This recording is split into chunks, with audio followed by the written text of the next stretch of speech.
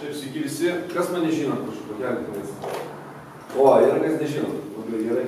Aš noriu plėsti savo pasiekimumą. Taip, kaip e, Vadimas sakė, tokių žmonių kaip undergroundas nelabai bus žurnaluose. Bet vienas iš mano tikslų buvo, kad aš būčiau visose žurnaluose šis metais. Jau esu paneliai. Tai jau esu ne toks. Vat atsiradau žurnalė panelės.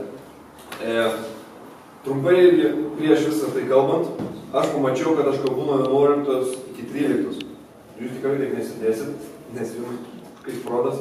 Todėl aš manau, arba dvi pertraukas, aš paklausiu, nevesdamas su laiku, kaip kam su, su priimamumu informacijos. Jeigu bus per daug, mes padarom pertrauką, nes kiek aš vedžiau pertraukas reikėjo. Ir tada mes vėl po pertraukos vėl susėsim, galėsite apie tai labiau padiskutuoti ir, ir tada žiūrėsim, kaip einas toliau. Turiu labai daug informacijos, e, nežinau, ar viską jau šiandien pasidalinsiu tiek, kiek aš turiu. Todėl, kad apie kiekvieną dalyką aš turiu kalbėti minimum 10 valandų, kiekvieną temą, kurią aš jums duosiu. tą temą mes šiek tiek pagvildensim. Ir šiandien e, aš norėsiu supažindinti apskritai, ką šiuo momentu aš darau. Todėl, kad aš manau, kad apskritai taip, kad aš dabar padariau, dar niekas nėra padaręs. Ir tokią informaciją, kokią jūs gausit, ta prasme, nu, jūs gausit ją nebent jeigu jūs būtumėt NBA pagrindinio trenerio, kuris treniruoja Michael Jordaną, e, e, sportininkas, kuris jį treniruotų. Jūs turėtumėte būti pitbulis ar rušeris, todėl kad aš šitų būtent žmonių, kurie yra jų mentoriai. E, Pasėmiau informaciją, aš High Performance studijuoju kaip šeši metai, tai tikrai daug dalykų e, pamačiau, kas veikia, kas neveikia. Nežinau, kas esate girdėję High Performance psichologijų. Ne iš manęs, iš kitur. Daug. Tai yra, daug, dauguma dar yra nesupratę, kas tai yra. Tai va čia jam pasidalinsiu. Uh, nu ir po truputį važiuojam tada.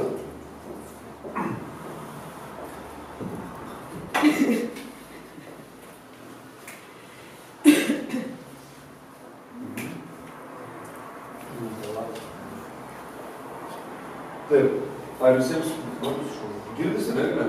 Ką aš sakau? Mhm, taip, toliau. Taip, tai mano vardas yra Vėjus, pavardė Vėtrinas. Tai yra tikra, tikras vardas, tikra pavardė.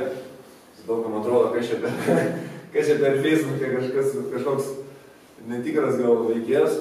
Ir dar mano pravardė Uraganas. Tai daug kartų esu girdėjęs, kadangi jeigu aš kalbindavau merginas, čia būtų didžiausias juokas. Ir čia mano geriausias draugas Paulius, skaisim germas, kad man, mano Facebookas yra išvėdinas, sako mano Sonikas. Tai aš irgi. Ir ant šito daug kartų anksčiau nesnipapulnom. Tai čia yra tikras vardas pavardė, pravardė, pravardė aš gavau iš sporto. E, tai trumpa informacija apie mane. 14 metų aš pradėjau sportuoti kickboksą. E, tapau, esu jauniausias iki šios dienos, jauniausias pasaulio kickboks čempionas Lietuvos sporto istorijoje, visose skirtingose organizacijose. VAKO, tai yra stipriausia pasaulio organizacija. Ir VKN, Working Boxing Network, 17, 17 metų tapau pasaulio čempionu. Ir kas buvo įdomiausia, tai kovau dėl diržo prieš 34 metų vyrą. Tai psichologiškai tikrai buvau, reikėjo pasiruošti, reikia suprasti, kas vyksta. Ir šiandien būtent norėsiu su jumis pakalbėti visais apie tai kad tai, ką aš patyriau, tą, tą mentalitetą aš nešiojuosi su savimi. Ir aš matau, kodėl švedė esu pirmas ir bet kur, kur aš dabar galėčiau būti. Aš suprantu, kaip tai darosi. Ir tai yra suvokimas, teisingas suvokimas. Ir prieš kalbant jo dar toliau. Šiandien aš kalbėsiu labiau būtent apie pačius pasiekimus. Ir aš bandysiu paaiškinti toje vietoje, kad kai aš galvoju vien apie pasiekimus, o pirmoje paskaitoje, daug kas galvoja, kad high performance yra vien apie pasiekimus. Kas tai nėra, nėra vien pasiekimai. Bet šiandien būtent aš kalbėsiu jums apie tai. Pravardė uraganas praminta dėl agresyvaus kovos stiliaus. Mano mėgėjų rekordas yra 306 kovos, 0 jų pralaimėtų ir 90 procentų laimėjau anksčiau laiko, kaip mes gražiai šnekam. Gražiai šnekam, aš jūs nafik išjungiu ir daugumą jų išvežė ir nusulaužiu labai. Bet šiaip tiesiog švelniai tariant, aš pabaigiau kovas anksčiau laiko.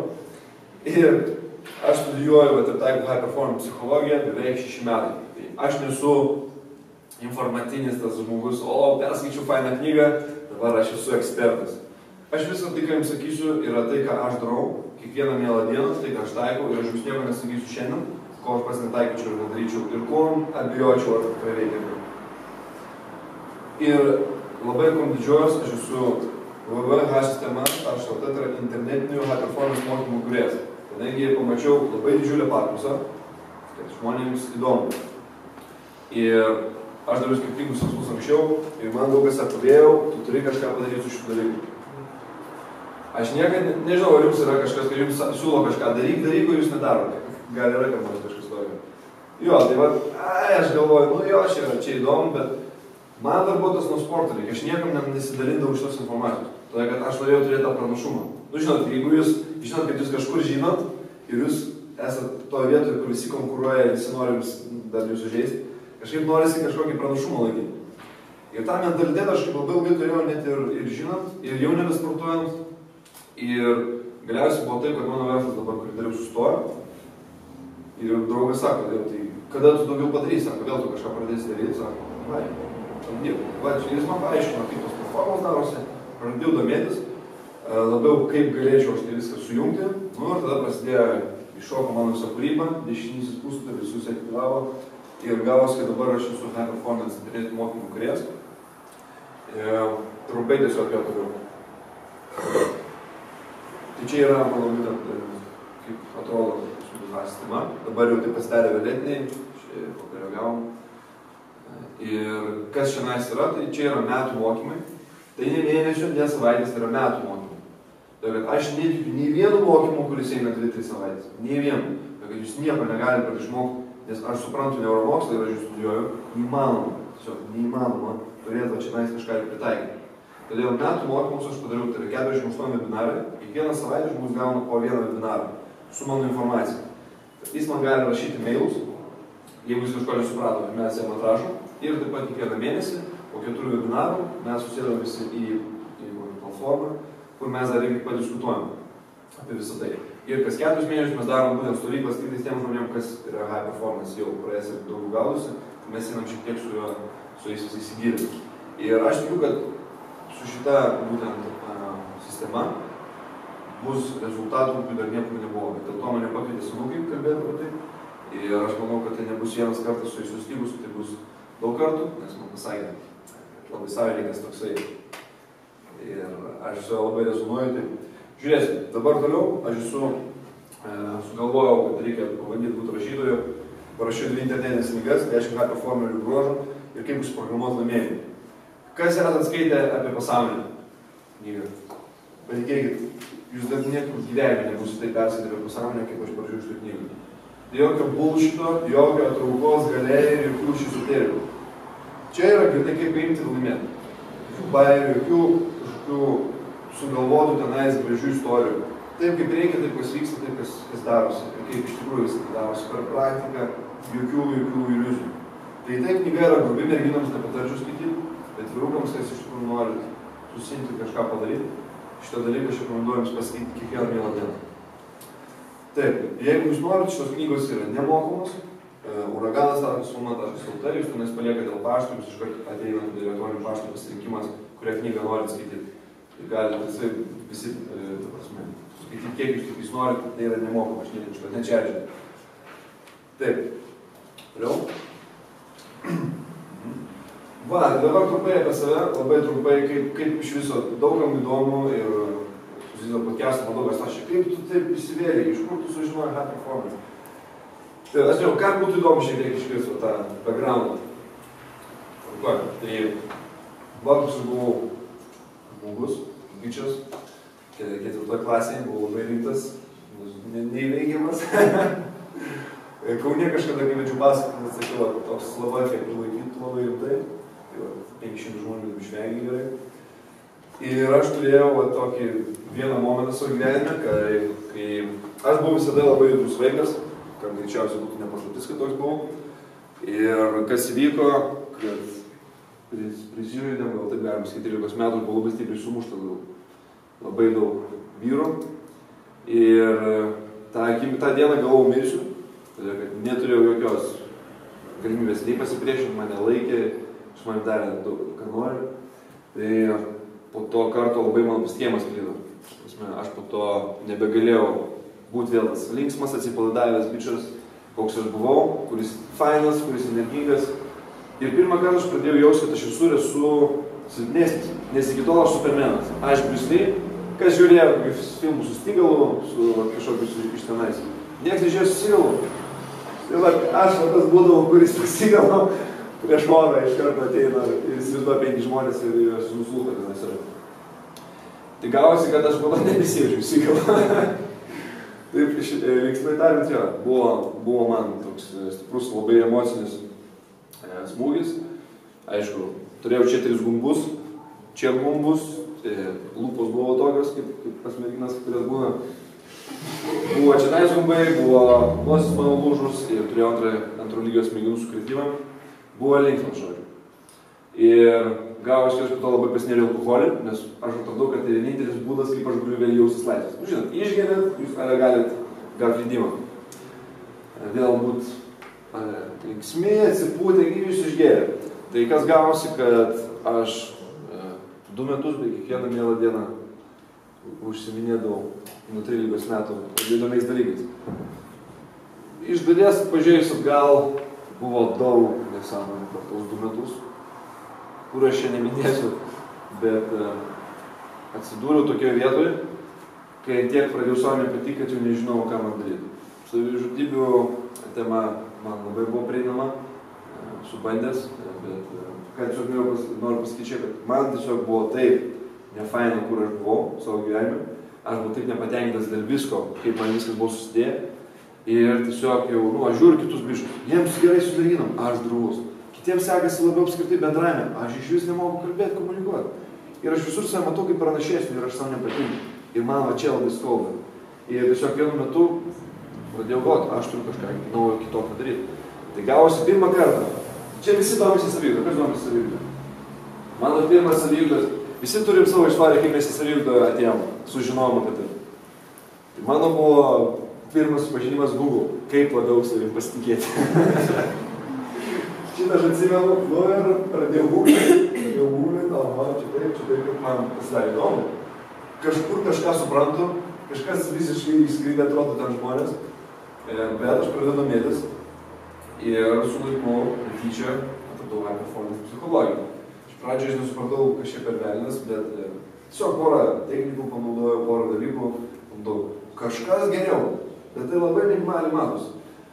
Bet su laiku tai tęsiant aš pradėjau po to pažiūrėti ir kaip man klausyti, kažkoks tu kitoks darai, kas tu yra, ką tu čia darai. Ir aš supratau, kad čia realiai ne mano galvoje tai darosi, žmonės pradėjo pastebėti. Ir aš jau pradėjau labai labai rimtai studijuoti ir taikyti. Aš jau nuo 14 metų pradėjau sportuoti. Ir būtent dar taikant high performance psichologiją, mano, ta prasme, nu, skirtumas komunikacijos, apskritai kaip aš jaučiuosi, buvo wow. Ir nuo to laiko, kai aš pradėjau studijuoti high performance psichologiją, negaliu rimti dabar, kiek dabar, 29 metų, daug 32. Tai paimam nuo kažkur 16, nu, tiek laiko aš buvau paragavęs, nes kai kurie gali sakyti, nu vėl, taigi, buvau paragavęs gurkštelės, bet net nesu išgėręs vieno to pirmo butiliuko. Gal esu vieną kartą, nebent. Bet vis...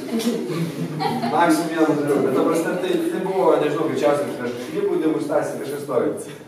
Bet šiaip aš neturėjau jokio noro, abs- absoliučiai. Ne todėl, kad tenais blogai ir aš jau užvarysiu, kas, kas geria alkoholį. Ne, žodžiu, su neįvaru nieko, ta prasme, kiekvienas kaip jisai jaučiasi, taip jis daro. Aš atradau ir gal pas mane yra labai stiprus inkaras, kad būtent aš tik tada galėjau būti jausti savimi, kai aš išgerdavau. Ir man to nereikia. Aš jaučiuosi geriau, negu kada nors aš galėjau jaustis. Be jokių alkoholio, be jokių kitų dalykų. Aš labai gerai suprantu, kas mane jungia ir aš galiu moku studijuoti su gyvenimo stiliu taip, aš kiekvieną dieną toks būčiau, pasijungęs. Ir tą supranta, Michael Jordanas supranta, Conor McGregor, ką žiūrėjo. Ta jisai supranta, ar kitaip žiūri, bet tas pats e, gaunasi, tas pats rezultatas taip, kaip jie e, rezonuoja su dabartinė situacija. Taip, tai aš turėjau tikslą, kalbant apie law of attraction. Va ką aš darydavau mokykloje. E, čia mano biologija, čia mano lietuvių, čia mano anglų ne, anglų ne, bet visa kita, tai vad būdavo ką aš darydavau. Nes tiesiog aš vieną apie tai galvojau. Ir kaip buvo įdomu, kad aš pradėjau žiūrėti rokį. Kas esu žiūrėjo rokį? Kas visas dalis? jūs esate tokie, patys maniakai, kaip ir aš, aš metus. Jo, tai, tai aš irgi esu žiūrėjęs daug kartų ir aš visą laiką po to gaudavau labai didžiulį įkvėpimą. Pirmą kartą būtent po šio filmo aš nusprendžiau, kad aš galiu tą pasaulio čempionas. Kai aš galiu pasakyti savo draugams, šitą klausykit, tie, kurie siekit savo tikslų ir pas jūs yra hebra, kurie sako, jūs mus išnekat, man mano draugai sako, vėjau, kas sakau, žinokit, aš, aš nusprendžiau, kad aš tapsiu pasaulio čempionas. Tai buvo 3 minutės smagaus juoko, sako, vėjus per daug pažiūrėjo rogį, sako, vėl nebežiūrėk rogį, sako. Nu, aš sakau, šimtai. Nu, ir man tada logiškai bandydavo viską paaiškinti, vėjau. Viskas tvarkoja, ta prasme, super, tu, tu, tu. Bet aš matau į tą tokį ironišką, tokį, ironišką tokią poziciją žmogaus, kuris tada viską supranta be sporto. Vėl, viskas gerai, ta prasme, tu norėjai, bet nu, tu turi suprasti, Lietuva. Žinai, kiek žmonių yra pasaulyje? Nu, vėl, tu tik nevaryk, aš, aš noriu tau padėti. Nieko nereikia padėti, reikia nafik pasiūsti iš mes, bet tuo momentu aš to nežinau. Sako, vėl, nes Lietuvoje 300 milijonų žmonių, kiek pasaulis milijardų. Koks lygis sporte pas mus? Kaip galima tą pasaulio čempionų? Jeigu tu varytum Ameriką, ar kur Olandiją, tai yra stiprus visuomenė. Nu, tada gal, tada gal. Tu gerai, aš nenoriu daugiau kalbėti, kai jis pasakė, aš du kartus pasaulio bokso čempionas, jauniausias bokso pasaulio čempionas Lietuvos istorija. Tai ką jeigu tu nori pasakyti, tai yra bullshit. Jeigu jūs šiandien matot ir jeigu jūs turite teisingą suvokimą, kaip tai darosi, jūs galite pasiekti. Bet tai nereiškia, jūs pasieksite. Ir šiandien, kad mes aš kalbėsim apie pasiekimus, aš šiandien grinai kalbu apie pasiekimus. Nes high performance bendrai, bet irgi to kalbėsiu, nėra vien pasiekimas. Bet šiandien bus tik tais čia nais. Ir už tai aš būsiu netoks gal malonus ir netoks šiltas, kad jūs viską galite, kai aš kalbėsiu apie pasiekimus, nes faktas yra toks, jūs visko negalite. Sunku patikėti, bet tokia realybė. Tai kas gavosi toliau? Štai va kaip atrodau, aš, nu, panašus biški buvau iš, iš veido, tos mano akis. Žiūrėjom, gal panašumų yra. Nes kaip aš girdėjau, nesikart, kas žiūrėjo filmą Love Attraction, ar trumpos galės skaitė. Žodžiu, yra filmas. Ir, ir tenais rodė, kad ne žmogus nuotrauką nusipiešęs arba nuotrauka visiškai identiška, kai jis dabar jau paskiria vyksta. Ir aš turėjau balį, ar identiška ir ne. Nu, prie šito pas mane tokio gero nėra ir šiaip aš toks, mano plaukai biški tokie, nu, tai būna ir neidentiškas. Bet kažkas panašaus. Tai va, važiuojam toliau. Uh, trumpai noriu pasakyti, nes daugas galvo, kaip boksas, kaip čia vyksta. Tai aš tiesiog norėjau trumpų nuotraukų, jo, čia pavažiuojam toliau. Čia yra pora nuotraukų. E, vėl. Kaip tai viskas atrodo. E, čia noriu stoti. Šito žmogaus dėka aš viską padariau. Tai yra man treneris Andrius Šiparas. Dabar kas sportuoja kickboksą ar norėtų gal pabandyti, kada sportuoja kickboksą? Visiems rekomenduočiau. Tik tais, tik tais Spartačiai klubas. Nes aš esu paskutuose klubuose, man viską išmokti per naują, teisingai, kai aš čia įsitėjau. Aš turėjau daug laiko. Kitas dalykas yra geriausias klubas todėl, kad paimkite visus Lietuvos klubus, kaip boksų, jeigu nori domėtis. Aš žinau, kurie, kurie žiūrės, čia laivas vyksta, kaip vyksta. Tai kai kurie gali sakyti, o mūsų klubas geresnis. Faktais, paimkim faktais. Pasiekimai. Šitas klubas turi daugiau pasiekimų negu visi Lietuvos klubai kartu sudėjus. Ir šitam klubui šeši metai. Tai o kitiems yra žymiai daugiau. Tai tiesiog aš nenoriu čia hypint, rezultatai kalba patys savai. Visiems rekomenduoju, čia yra mano treneris Andrius Šipaila. Ir tiesiog norėčiau visur, kur aš kalbu apie tai, norėčiau, kad jam aplotume, nes tikėjau dėka šiandien istoriją. Taip, va čia buvo high performance, va čia tai bičias. Dabar trumpai mes perinam jau prie pasiekimų, todėl iš karto noriu pasakyti, aš, aš neintentiškai nenoriu nieko čia įžeisti, bet aš įžeisiu. Todėl, kurie iš jūsų esat maži berniukai, mažos mergaitės, kurios įsižeidžia dėl nieko. Dėl to, kad aš paskui tiesiai. Ir už tai pasakau taip, kaip yra, nes daug kas nenori išgirti tiesos, tai daug kas turi atmasės. Kodėl aš nesu ten, kur esu? Aš esu vieni paskutinis žmogus, kuriam turėtų pasakyti atmasę. Nes aš sakysiu iš karto agresyviai, ką aš galvoju apie jūs. Todėl, kalbant apie pasiekimus, jeigu jūs norite tikrai kažką pasiekti, tai jeigu jūs turite kažką pasiekti, be jokių, tu viską gali ir visą kitą. Kas čia per nesąmonė? Jūs negalite visko pasiekti. Ir aš noriu tiesiog biškai, kad mes grįžtumėm į realybę. Nes ką aš dabar matau savydos pasaulį, darosi, darosi smagu. Ir taip, tų emocijų reikia. Emocijos, ir, bet aš dabar kalbu pasiekimus. Ir už tai norėsiu paaiškinti, kuriems kalbu high performance, tai yra labai žiaurus, grubus toks e, supratimas, vat, kaip ką daryti. Ir man čia ne man. Aš irgi taip galvoju. Tai norėsiu, norėsiu šiek tiek jūs labiau e, tai traukti. Kam jau įdomu? Kažkas įdomu. Kas jau įsižydė? Kaip? Šį trumpą paskaitą, ką aš dabar su jumis pasidalinsiu, mes to įsitraukime. Tai yra grinai apie klausimą savo instinktų, žiūrint tiesai į akis ir atsikratyti visų pasteisinimų, kas stovi priešais jūsų jūsų. Nesvarbu, kaip sudėtingai ir kaip nepasiekimai jūsų tikslas gali atrodyti, kas turi tikslus didžiulius, kas neapsimeta iš tikrųjų turi. Kas paklausiu, kaip atsakyti. O kaip mažai. Tai va tai yra tiesa. Jokių bairių kaip yra pasakyti, nes aš nenoriu kaip mačiau. Tai uh, tie, kas turi tikslą, jokių atmačių. Šiandien aš noriu daryti tai, kad nebūtų jokių atmačių. Toliau. Nepra, nes nemokinsiu ir nebandysiu jūsų pakeisti, todėl kad aš tik šimtų procentų, kad žmonės nesikeičia. Tik tais informaciniam lygmenį. Bet tai, kas jūs esate, tai, kas pas jūs čia yra instinktai, jūs nuo Nepabėgsit. Toliau. Aš noriu, kad jūs patikėtumėt jau tuo, ko jūs jau esate ir eitumėt į tą vietą, kur jūs nebegirdite jokio triukšmo, jokio negatyvumo, jokių baimių, jokių pašalinių trūkčių, jokio melo ir pasiektumėte bet ką, ką jūs susiveržėte. Jūs esat, kaip aš vadinu, lietuviškai ne, nepasakysiu, intudas, kai jūs esat zonai. Bet zonai mes žinom Lietuvoje. Kitoks, biški, supratimas. Aš te pasakysiu, jūs esat toje vietoje, kur jūs daugiau nieko nebegirdite. Jūs einat ir jūs darot, jums pofik. Jūs darot, ką jums reikia daryti. Nesvarbu, kas tai būtų. tai kas yra high performance? High performance yra gyvenimo stilius. Pirmas dalykas, ką jūs suprasti, yra gyvenimo stilius. Tai nėra pasiekimai, tai nėra vien jausmas, jaustis geru, tai nėra kažkur būti kažkokių aršių ir agresyvių ir dar kažkokių. Fiziškai ne. Tai yra gyvenimo stilius. Gyvenimo stilius, kuriame jūs pastoviai progresuojate, pastoviai laimite. 306 kovos nors pralaimėjimus turėtų kažką pasakyti, kad aš kažką suprantu taip, kaip visą tai darosi. Ir taip pat, kai jūs gyvenate įsitraukusi, energingą ir entuziastingą gyvenimą. Sveiki. Labą dieną. Visų prašau, prisėskite, jeigu jūs atėjote. Okay, okay, ačiū. Kaip tik, kaip tik, aš tik pradėjau dabar viską. Gerai. Labai laiku. Dar kartą pakartoju, tai yra gyvenimo stilius, kuriame jūs pastoviai progresuojate, pastoviai laimite. Jeigu jūs nelaimite, jūs nesate high performance. Paprasta ir jūs gyvenate gyvenimą, kuriame jūs esate įsitraukę, entuziastingi ir energingi. Nes jeigu jūs esate va toks susijungęs, kaip sekasi? Gerai. Kaip einat šiaip gyvenime? Normaliai. Nu, taip ir normaliai, nieko su lūzeriu. Pasiekimų prasme. Jis negali toks žmogus laimėti niekada gyvenime. Jis turi per mažai energijos. Kai žinau, kad Domas Trumpas miega 4 valandas. Dieve. Tu įsivaizduoji, kiek jam metų? Jam nereikia, jis turi tiek daug energijos. Todėl, kad jis teisingai susijungęs su savim, ką šiandien norėčiau jums parodyti. Ir su tokia energija toks žmogus štai ką gali padaryti. Aš nes man nesvarbu, jūs varote Donald Trump ar ne. Bišas, bišas padaro daug dalykų, tai, jis nori padaryti.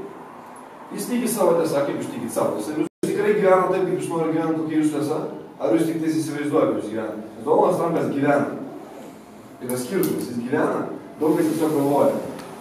Didžiulis skirtumas. Toliau. Geriausi būdai žiūrėti high performance. Pirmas dalykas tai yra išmatuotų standartų viršymas ilgalaikėje perspektyvoje. Po to, kai jūs suprantate, yra gyvenimo stilius. Gyvenimo stilius. Išmatuotų standartų viršymas ilgalaikėje perspektyvoje. Ir antras, savęs ir kitų pralenkimas ilgalaikėje perspektyvoje. Bet daugam iš jūsų greičiausiai, kas nelabai suprato, ką tai reiškia. Nuoširdžiai. Žinau, kad meluoja, nes tikrai įmanoma nesuprasti. Išmatuotų standartų viršymas. Ką tai reiškia? Paimkim jūsų, tarkim, emocinę realybę. Paprastai išskimietiškais e, žargonai šnekant, kaip jūs jaučiatės per dieną, kaip jūs jaučiatės. Didžiosios daugumos standartas, kas sutinka, kad didžiosios daugumos standartas yra tiesiog jaučiuosi ramiai, komfortiškai. Kas sutinka, tai yra didžioji daugumos va, ta emocinė realybė, tas jausmas, su kuriuo eina per dieną. Kas sutinka? Tai čia yra mūsų išmatuotas standartas, va tas normalus standartas, žmogaus standartas. Kokios žmogaus standartas? Ramus, atsipalaidavęs, komfortiškas. Jeigu jūs tai viršytumėt, jūs būtumėt įsitraukę. Filosofas, nu, tai viršyti. Jeigu jūs tai išlaikot, mokat išlaikyti ilgalaikį perspektyvoje, jūs esate pastovi, pastovi įsitraukę. Bet dažnai kas būna su mumis ir jūs netaip mokina, ir aš nesakau šiaip, aš pasakysiu faktus, kad jūs užsimotivavau, užsimotivavau. Ir to vėl nukritau ir vėl man reikia kažkaip, man reikia kažką, man reikia padaryti. Ir štai visi motivaciniai verslai, darai, ima iš jūsų papkės, nes man reikia vėl grįžti. Man reikia vėl save užsipompinti. Ir aš žinau, kad kai kurie manęs nemėgs, kurie daro šitus seminarus, jis yra visiškai nesąmonė, ką jie daro. Bet aš noriu šiandien jums duoti, ar mano tikslas, tai nėra 10 metų dabar aš jūs išmokinsiu. Mano tikslas, kad jūs manęs daugiau gyvenime nebekviestumėte. Ne todėl, kad aš kažkoks piktas ar blogas, bet todėl, kad jūs viską susijungėte, su savimi daugiau nereikia. Jūs pastoviai esate patys motivuoti. Jūs žinot, kas, kas tai vyksta, o ne kažkoks, nežinau, mistinis dalykas, kaip aš ten ateinu, man kažkaip reikia kažką ten daryti, iššokinėtas, kaip tu gali, ką ten dar, nežinau, padaryti, pašnekėti, ir aš jaučiu energiją. Dvi dienas arba dieną, ir atsikeliu rytoj, gal, gal, gal vienas vėl šūnas, nebėjau šitos energijos, eina savo, ką man daryti.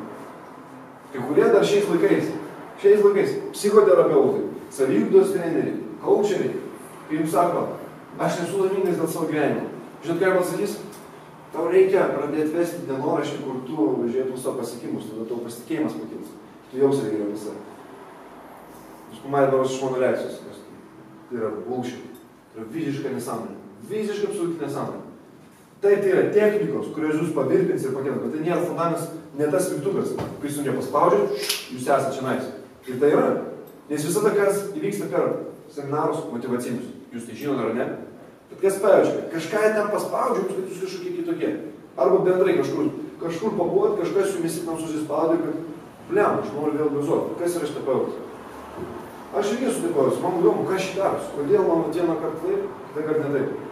Noriu jums pasakyti, tai yra fundamentai, tai yra mygtukai, kuriuos aš jums paspaušiu, net ir dabar. Ir ką aš dabar jau darau, aš jums jau spaudinėjau mygtukus. Kad jūs kažkaip pradėtumėt kitaip jaustis ir žiūrėti kažką. Nors jūs ir nesuprantat, bet aš suprantu. Ir aš nežinau, ar tai motivaciniai seminarai, ten yra žmonės, suprantat. Bet faktas, kad jie jūsų nemokina apie šitą dalyką. Kodėl? Reikia paklausti, aš neklausiu. Bet kažkas yra ne taip. Tai dabar toliau. Tai yra viršimas, dar grįžtam. Išmatos standartų viršimas. Kai jūs pastoviai esate labiau specialiai įsitraukę, labiau pakėlę savo energiją. Specialiai. Ir taip pat yra savęs ir kitų praradimas ilgalaikį perspektyvą. Tai reiškia, kad jeigu jūs esate high performers, darbe, sporte, versle, jūs pralenksit abu tiek savo geriausius gebėjimus, todėl kad jūs pastoja pušinat save, jūs norite pakilti tą geresnį lygį, jūs, pakil, jūs pralenkit save ir jūs pralenkit kitus. Ir dabar kai kurie sakys, o, čia vėl yra varžybos, čia, čia ne gyvenimas, čia per gyvenimas, pastovas varžybos. Taip, tai pastovas varžybos. Su savimi, ne su kitais, su savimi. Ir čia aš labai turėsiu irgi tai papasakoti. Tai reiškia, kad jūs patys varžos su savo silpnybėm, su savo nepatogumais, su savo demonais, kaip ten kai kurie sako, kurie gal meniški labiau žmonės. Kaip sakė, tiesiog su savo iššūkiais, jūs varžote su savimi, ne su kitais. Jeigu aš einu kovoti rinkoje, man kitas išjungta žmogų, aš nieko neturiu apie jį, man visiškai nesvarbus, aš net nematau. Tai yra grinai mano pasaulis. Aš matau potencialą, ko aš noriu, aš noriu būti geriausias sportininkas. Ir aš sėkiu būti geriausias sportininku. Kad man būti geriausias sportininku, aš turiu būti realiai geriausias adekvačiai prieš visus nugalėti, visus nugalėti, teisingai. Kas nutinka, kad nu, tai yra adekvatus įrodymas, aš geriausias. Tai man reikia laimėti prieš jį, man tai viskas. Tai nieko bijai. Tai yra grinai mano savanaudiškas, daug kas nemėgsta šitą žodžią, savanaudiškas bet yra mano savotiškas noras ir gyvenimas susikurti tą viziją.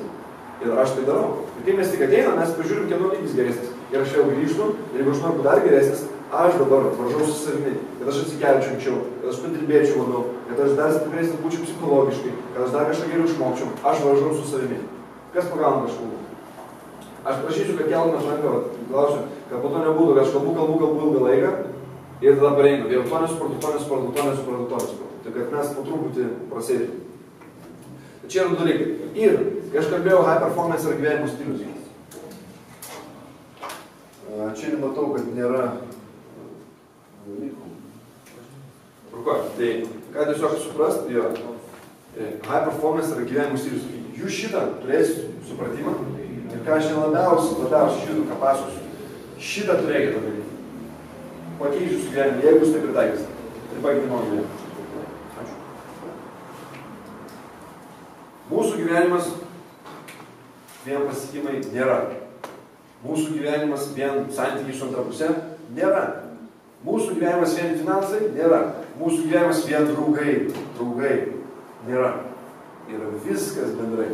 Kas susitinka? Yra viskas bendrai. Tai reiškia, aš, jeigu aš negaliu būti vien geras pasiekimuose, jeigu pas mane visur kitur blogai, tai tiesiog neveikia. Kitiems pasakys, taip visada neveikia, aš nenoriu būti čia šiandien šizoterikas, ar nenoriu būti dar kažkoks tenais neaiškus bičias.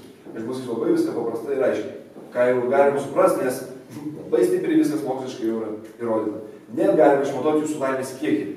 Kiek jūs jaučiatės laimingi, jūs įsivaizduojate. Jūsų visą serotoniną, visus jūsų hormonus, kas vyksta jūsų smegenyse, galima išmatuoti, kiek stipriai tai įtakoja tam tikrus sprendimus, kuriuos daro ir būtent todėl jūs jaučiatės labiau laimingi arba mažiau. Tai už tai nebereikia jau tokių labai neaiškių dalykų, ko niekas nesupranta, ir tik tas pats žmogus, jeigu jį supranta, bet tada visiems atrodo labai gražu. Tai aišku, ne tas. Gyvenimo stilius. Tai mano tikslas, kad aš būčiau visur kietas. Tiek pasiekimuose, tiek su draugais, tiek finansuose, tiek savo sveikatui, visur. Visur, visur, visur, visur, visur. Ir aš pastoviai varžyčiau su savimi, vis pastoviai gerinant savo gyvenimą. Nes high performance tai yra patyrimas aukščiausio gyvenimo kokybė. Nėra vien mažas, nėra pinigai ir nėra ten valgiai geriausiai, kas irgi eina, bet jausmas, jausmas. Va, va ten jūs kažką jaučiat, kad jūs esate taip laimingi ir taip įsikrovę į savo gyvenimą, kad iš šito niekas jūsų netimtų. O čia yra svarbiausias dalykas, nes jūs turite šitą būseną, kas sutinka su manim, jeigu šitą būseną turėtumėt visą laiką, jūs padarytumėt viškai tokius sprendimus, jūs turėtumėt žymiai geriau santykius, jūs visur būtumėt viškai kitokie. Kas to sutinka? Kas to sutinka, kad jūs to ir siekit realiai gyvenime? Ką mes darome, einame filmus, masturbuojamės pusę dienos, darom daug nesąmonių, kam? Reikia geresnės energijos. Aš tiesiog švies noriu pasakyti. Mums reikia geresnės būsenos, kur yra trumpalaikė. Šiuo momentu jinai buvo ir jos nebėra. Aš manau, kiekvienas jūsų tiek jūs turėtų. Kas norėtų pastoviai šitą būseną? Nėra lengva, kebra. Aš nesu dabar nepasakysiu, o, tai viskas paprasta ir fainai. Galite, aš jums tvarkysiu. Nes aš to nepadarysiu, čia jūs tai padarysite. Aš jums parodysiu aiškiai, aiškiai, kaip tai darosi. Bet jūs norite, jūs darote, jūs nenorite, jūs nedarote. Po to ateitis nekaltinkit, nes aš jūs, jūs atsiminsiu, kad jums po to blogai gyvenime ir man parašysiu kažką. Jūs jūsų tai kaltė, ne man. Tai, kai jūs tai suprantat, kad kaip man palaikyti tą gyvenimo kokybę, nes su ją aš einu visur. Ne tik, kad jeigu blog, jeigu man neseka su draugais, su antra pusė, jeigu man bloga sveikata, kaip aš galiu daug pasiekti ir tenais būtų kėdas. Ne. Tai yra bendrai visur. Važiuojam toliau. Kiek valandų, kas gali pasakyti? 25. Ok, mes padarysim neužilgą pertrauką. Tai bendra hyperfonio psichologija. Noriu iškart pradėti su pagrindinė tema. Matau, kad daug ką praleisiu, nes nespėsiu papasakoti. Dabar jūs supratau, jeigu aš taip kalbėčiau, tai mes pabaigtum po 6 valandų viską, ką aš paruošiau dabar kalbėti. Būtų jums nerealiai patikę, bet nėra laiko. Todėl aš ir darau šitą H sistemą. Tai trys skirtingi gyvenimai, trys skirtingi žaidėjai. Tai aš, kadangi studijuoju psichologiją ir visokius įdomius žmonės, pagrindė visur kaip jie būtina yra trys skirtingi pasauliai, kaip jie sako. Aš nekalbėsiu, tai yra pametinis pasaulis. Tai yra vienas gyvenimas ir šitas vad. Tik yra žmonės, kurie skirtingai su juo rezonuoja. Skirtingai su juo rezonuoja. Ką tai reiškia? Visi greičiausiai pažįsta žmonių, kurie sėdi visą dieną prie kompo, energijos nulis ir tiesiog nieko gyvenime nedaro, tik sėdi prie kompo ir yra tragiški. Kas jūs žinote? Manau, daugas. Bet visi matom McGregorą, visi matom Trumpą, Jordaną. Kas tai per pikčiškai nesveikia. Varo realizuoja. Jie tam pačiam pasauliu kaip ir šitie. Bet kažkas juos kitaip, tam sujungta. Kas su manim sutinka? Kažką jie kitokio žino. Kai kurie sako, tai genetika. Genetika, jūs suprantate, ką aš šneku, genetika. Kaip genetiškai tu gali būti Michael Jordan? Taip, tu užaugs, taip, taip. Tai nesąmonė. Ir tai yra vėl tas, kad ne visi gali būti tau arba duoti, arba ne. Aš kalbėjau su bokso treneriu, kuris jis sako, žinai, moksliškai net buvo įrodyta, kad olimpiniais čempionais gimstam. Susilaikiau nuo komentarų, tiesiog kad buvo žmonės, bet aš visiškai netikiu, tai visiškai netikiu. Tai trys skirtingi gyvenimai, trys skirtingi žmonės. E, aš vadinu tai taip. Yra vienas gyvenimas, ir aš apie juos kiekvieną pašnekėsiu ir aš pasakysiu trumpai fundamentus, nes Apie tai, ką aš nebu, aš vien turiu būtent H sistemoje virš valandos eina vien vienas webinaras apie tai. Nežinau, kas jau gal žiūrėjęs, gal yra, kas. Čia per vieną. Ar yra? Nepamačiau. Tai čia aš kalbu vien valandą, aš tik čia nekalbėsiu, nes mes lygimus beveik liko tik valanda, bet labai trumpai. Yra įkalintas žmogus, įkalintas gyvenimas, yra komfortiškas gyvenimas, kur dauguma jūsų yra, ir yra įkrautas gyvenimas. Gal iš jūsų, kurie yra, labai lengva bus pasistoti. Ir sporte šitie žmonės, aš jūs pavadinčiau taip, čia yra mėgėjas, čia yra profas, o čia yra ikona. Trys skirtingi, trys skirtingi supratimai. Ir noriu trumpai paaiškinti psichologiją, būtent ir fundamentus, kodėl yra žmonės ir kaip kas yra. Aš manau, mes visi esame tai praėję, kurie kažkur ir esam, kažkur rezonuojam ir mes padarom kažkokį sprendimą, nežinau, kokiam ten lygmenį, kiekvieną dieną, kuriam iš tų gyvenimų mums pabūtų. Ir pirmas dalykas tai yra įkalintas gyvenimas.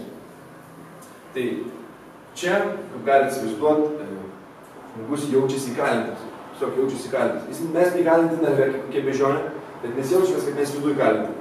Įkalinti nuo kitų nuomonių, nuo kitų, kaip kas mus pažiūrės, nuo to, kas mums pasakyta, kaip mes ką galime daryti. Mes jaučiamės, kad mes neturim savo balso pasaulyje. Ir tai dažniausiai būna, kai mes gimstam. Mes tikrai neturim jokio balso pasaulyje. Mums labiausiai reikia tos meilės, to ryšio, kad mes būtume arti prie to, kas mums čia padės mums čia išgyventi. Ir mes nežinom, kaip mums čia elgtis gyvenime. Už tai mums smagu, kai mums pasako, štai kur to vieta. O, žinau savo vietą dabar, jas. Yes. Va, tu turi eiti į mokyklą. Turi elgtis taip ir taip. Taip nesielgsi, bausim. Taip elgsis, bus gerai. Ir mes žinom dabar, kaip mums elgtis, mes ale žinom, kaip čia išgyventi. Ir mums patinka, mums smagu. Kas susitinka? Mes, kaip buvom mažiukai, mes taip buvom jau. Kažką jau žinom, kažkas geriau. Taip elgtis, gausim planuojam. Tai čia yra tai, kad mus kiti mums sako, kaip mes turime gyventi. Man daug kas sako, nežinau, ar jums tai yra sakę. Bet aš, man sakė, kad aš būsiu krepšininkas užaugęs. Aš neatsimenu, kodėl aš turėjau būti bet aš esu kiek aš būsiu užaugęs krepšininkas. Aš niekada to nejaučiau viduje. Ka kamera, kai jis buvo nuo pirmos iliustracijos, buvo tam, ta, liepta paklaus, e, jums buvo sakė, kas jūs būsite užaugę, jūs man sakė kažkas, kas jūs būsite. Kamera klausė tokio dalyko. Ir kai jūs, kurie pakėlėt ranką, buvo, kad jūs pakėlėt, jūs atsakėt, bet jūs nejautėt, kad jūs iš tikrųjų tokie bus. Nu, nebuvo to tokio, va, aš tikrai noriu šitas žmogus būti. Tai man, man buvo tas pats. Krepšininkas. Nu, aš būsiu krepšininkas. Man sakė, senelis, aš turiu būti krepšininkas. Man sakė, tėtis, kad būsiu krepšininkas, nes tėtis mamų aukštė, tai būsiu aukštas užaugęs. Būsiu krepšininkas. Ir iki penktos klasės sportau krepšinį. Niekai nesupratęs, kodėl man reikia sportuoti ir galiausiai žiūrėjau, norėjau mest. Bet ką mano mama pasakė, tiek ilgai lankai. Kamera irgi tokių klausimų buvo keli. Jo, tai, bet suprantu, tai tikrai nebuvo mano labai didžiulis supratimas, kad aš galiu pats diktuoti savo gyvenimą, bet labiau man viskas kažkas atsisakytų. Tai pagrindė, tiesiog šitie žmonės labiausiai, jie nori saugumo. Šitie žmonės nori saugumo. Saugumo. Šitie labiausiai žmonės nori užtikrintumo. Užtikrintumo. Ir šitie žmonės e, labai, labai nori, kad jiems kiti nurodinėtų, ką jiems reikia daryti. Ir, e, nu, čia yra būtent iš įkalintų žmonių. Jie nori, kad jiems nurodinėtų. Jie neturi jokio balso, jie tik klausia, ką man daryti, daryk šitą.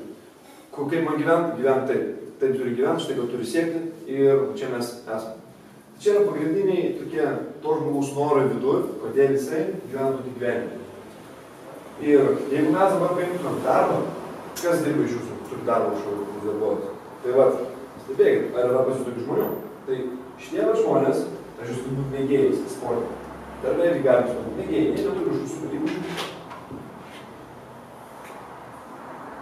E, dabar darbe šitie žmonės, jie uždirba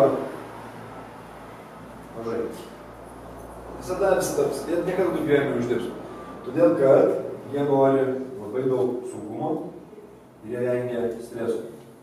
Streso, e, vengia streso. Todėl, jeigu aš būčiau treneris, tokie žmonės, jie labai mažai galėtų padaryti. Jų reikia, reikia bendrai visiems komandai, visokių žmonių, bet šitie žmonės, e, jie, jie kadangi nenori pajausti streso, nenori pajausti išgašio, baimės, jie lieka savo vietoj, kurie yra ir jie leis kažką kitą daryti, bet aš geriau jaučiuosi komfortiškai, kad tik jis ne, nepajaučiu žučių. Tai yra pagrindinis dalykas, kodėl jie čia yra įstrigę. Gyvenime tokie žmonės yra didžiausi, didžiausi ignorantai, kaip aš sakau. Viskas, kas yra ne taip, kaip jie galvoja, netiesa. Visiškai netiesa. Ką aš jums sakau, kuriam gali atrodyti, jo, bet tu sakai, taip, tai tiesa, taip, taip. Vis aš jums sakau, kas yra patikrinta moksliškai, o ne savo išgalvota tema. Pavyzdžiui, mums sako, aš esu krikščionis, kas nesate krikščionis, krikščionybė yra teisinga. Suprantat? Tas žmogus, kaip dažniausiai būna, kai jie gimsta, jie užauga savo pirmoje realybėje. Pirmoje realybėje. Jų tėvai, jų draugai, nu, ta pagrindas jų. Jie, jie išmoksta, kaip jie gyventi ir jie nenori išmokti kitokios realybės. Kodėl? Nes jie ten nieko nežino, jie nesupranta, kas ten bus. Ir už tai dauguma žmonių nenori bendrauti su kitais žmonėmis, nes jie jų nesupranta, nežino. Dauguma žmonių nenori į naujus burelius, nes niekas neaišku man baisu. Ir aš nenoriu pajausti šito jausmo, todėl aš viską ignoruosiu. Tik tais todėl, kad aš pateisinčiau tai, kad aš va, turiu būti va čia ir va, mano gerai. Tai yra tik todėl, kad jie save pateisino, nes jie bijo, jaučiasi blogai. Ir tai juos ir galina. Kai aš dabar šitą paaiškinu, kam aišku, suprantama čia kažkas. Tai nėra labai sudėtinga suprasti, jeigu klauso. Tai dabar koks yra dalykas? Daug anksčiau mes taip ir gyvenam. Mes gyvenam kaimeliuose, mes turim išgyventi. Tu darai tą, štai tavo tikslas, štai tavo, kaip sakyti, gyvenimo misija - būti amatininku ar būti siuvėju. Tai kad pas mus kaime gali būti du siuvėjai maksimum, ar vienas siuvėjas. Tu būsi geras siuvėjas ir tu laikyk tai, nes viskas, ką daugiau darysi. Tai iš, iš, dar, iš tenais dar pas mus yra tas mentalitetas, kaip man turėti savo gyvenimo pašaukimą. Vien nėra. Vien nėra. Tiesiog. Bet kai jūs tiesiog mylite tai, ką darote, jūs tiesiog bandot gerinti savo gyvenimą, jūs norite geresnį būti. Žiūrėkit, noriu pasigerinti finansus. Kiek tūkstančių būdų, visi žinot, yra šiais laikais užsidirbti pinigų. Ir mes pradedam rinktis, kas mums rezonuoja, mes bandom ir mes matom, kas mums patinka. Ir mes pradedam tai gal neblogus studijuoti, su laiku mes jų tenai skėti, mes jų dalinamės tas mūsų problemų, tu galėtum kažką jau pasidaryti su kitais. Ir jūs padarote signalus, tai papasakot, jūs gavote pripažinimą, galite jums šitą babkių, ir dabar jūs galvojat, čia mano misija, čia mano tema. Ir tiesiog jūs vienoje srity, kur jums patiko, jūs traukės, padarėt geresnį įdirbį ir dabar jūs suprantate daugiau negu dauguma žmonių. Bet ir viskas. Ar kitas galėtų mokyti kaip aš high performance? Aišku, galėtų. Bet aš manau, kad tikrai kyla šitam reikalui, ką aš pasakoju. Bet kiekvienas tai galėtų, jeigu jis pasiryštų daryti. Jeigu jis pasiryštų, kaip aš, 100 valandų per savaitę, kad gerinti visą tai, daryti webinarus ir visą tai labiau suprasti. Tai kas dabar vyksta? Mes nebe kaimuose. Kas šitą kad nu, mes 200 amžių turim jau didesnį pasirinkimą žemė. Kas dabar atsitiko? Kad mūsų atsirado internetas, kas naudojasi internetu, telefonai, kompai. Ir kas dabar mums duoda? Tai nečiakinga, kad su jau klausim, bet kaip tai susiję? Kai mes dabar, kad ir mes neturim savo balso, mes neturim visiškai pasirinkimo, atrodo, mes faktai turim gyventi.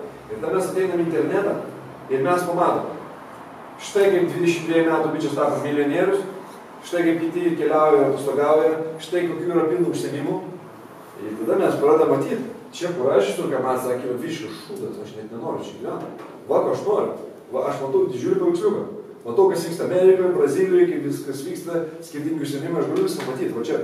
Nes anksčiau mes to negalėdome matyti, mes galime matyti tik tai, ką mūsų tėvai daro ir ką tėvų draugai gal daro ir mes turim savo tą mokyklą, tos žmonės, mokyklą, viskas, ką mes matom.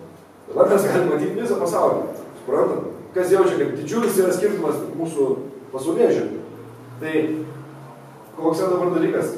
Žmogus, kuris neturi savo balsų, jis mato, ką jis nori padaryti. Ir jisai dabar nepadarys to žingsnio, eiti į tai ir kažką sužinoti.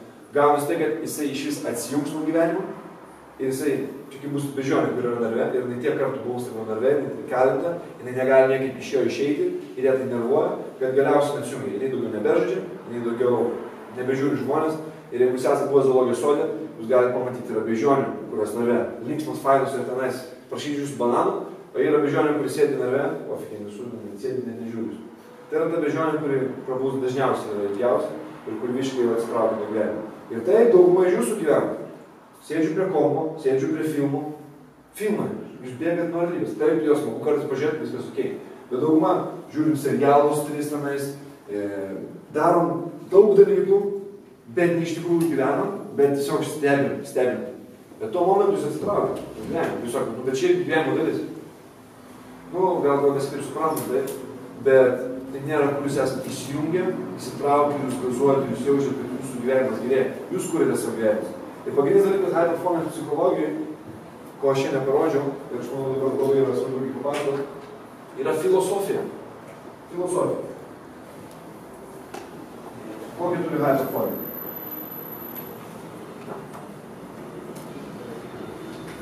Kas yra gyvenimo filosofija? Aš neklausiu, man tiesiog šiaip užduodu retorinį klausimą. Pagalvokit, kokia mano gyvenimo filosofija? Kaip aš noriu pragyventi? Kas, vat, kaip aš turėčiau pragyventi savo gyvenimą? Mano filosofija, su kuria aš atsikeliu kiekvieną dieną. 99 procentų neturi, aš klausiu. Tai yra todėl, kad mes turim daug triukšmo aplinkui, medijos viską ir mes viską stebim, bet mes nepamatom savęs. Ir ką aš vadinu high performance psichologija, kad sugrįžtume čia į save. Ir pagrindinis dalykas, jūs suprastumėt, kaip aš noriu pragyventi. Nes tai, kas vyksta, daug kas galvoja, aš turiu daug laiko, nereikia skubėti. Visi prieš sako, čia jums turi dievai. Nes jūs pamatote, kad jums 20, jums jau 30, jums 40 ir jūs gal nieko dar nepadarėte. Ir po to jūs žiūrite, kad jums 90 metų, jūs jau einate prie savo karsto, jūs negalite pajudėti, jūs viskas, jūsų sveikatos nebėra, jūs atsisukate savo gyvenimą ir sakote, šūdą aš su manimi. Kas man net pasidarė? Aš nieko nepragyvenau, aš net nepajaučiau. Ir aš nieko nepadariau, aš visą laukiu, kas man kažkas kažką pasakys, kad man kažką leistų, aš, aš laukiu leidimo, pripažinimo, aš nesiu, ko aš iš tikrųjų norėjau. Ir dabar viskas, kada, kaip aš pragyvenau, šūdinai. Kas man atsimins? Niekas, nes aš nieko nepadariau vertingo. Aš net nesijaučiu vertingas. Aš galiu savai netikėti, bet aš viduje giliai žinau. Ir jūs giliai viduje žinote, kad jūs iš tikrųjų gyvenate fiziškai toks jausmas, negu jūs bandote atgal. Ir aš galvoju, daug kas sako, kai aš pradedu kalbėti apie mirtį, daug kas, o vėl nekalbėk, aš pasakyčiau, jeigu jūs tėvai kažką darys, tik nekalbėk, aš nenoriu apie tai galvoti. Kam? Visiškai toks požiūris, kai žino, kad jūs nesitarbus, kaip jūs, ar jūs elgtumėte su jais kitaip? Manau, kad taip. Ir tai būna didžiausia, didžiausia sėkmingų žmonių, e, kurie nėra high performing, nu, high performing pasiekimuose, bet jų gyvenimas lėvas, kaip žmonių. Jeigu klausia, kas, kas, kas buvo, kodėl kas būtų aš pagėdęs, sako, išvyškiai tai dar aš su atvais. Sako, dabar jau mirė, ir aš tik po to supratau, kaip man trūksta, kaip man reikia. Koks yra jausmas. Tai, tai, tai ne faina, bet jūs pagalvojate apie tai. Taip pat jūs pagalvojate apie savo gyvenimą. Aš mirsiu kažkada. Nu, kas dvasiškai, man, aš, aš nelėsiu, taip, mes nemirtingi. Tvarkuoju. Bet šitam gyvenime jūs išeisite. Ir ką jūs būsit padarę, ką jūs būsit pasiekę. Jeigu kažkas kalba, pasiekimai nesvarbu, tai jeigu nebūtų pasiekimai svarbu, nebūtų nei Apple, nei mašinų, nieko, nes pasiekimai nesvarbu. Kaip mes gyventume, jeigu niekas nebūtų kažkokių pasiekimų padaręs? Kas nu, nusišneka, kas tu galvoji? Bet visiškai nesąmonė. Nes pasiekimai yra tik tai, kas svarbu, ir tai, kas liks po jūsų. Tik tais pasiekimai. Tik tais pavyzdys, kokį jūs pasiekite. Tai, kalbant apie filosofiją, high performer psichologija, visa filosofija, ir viskas, kas pavyko, ir kas man leido tapti antrą kartą pasaulio čempionu, kai aš, ne, Europos čempionu, kai aš tapau, prieš kovą žiauriai bijojau, nes aš vėl kovosiu prieš pagrindinę Rusijos rinktinės trenerio sūnų. Man tikrai buvo baisu, nes aš matuoju 2-3 per metus, jisai 12. Aš turėjau gal 20 kovų, jisai 100 ar 200.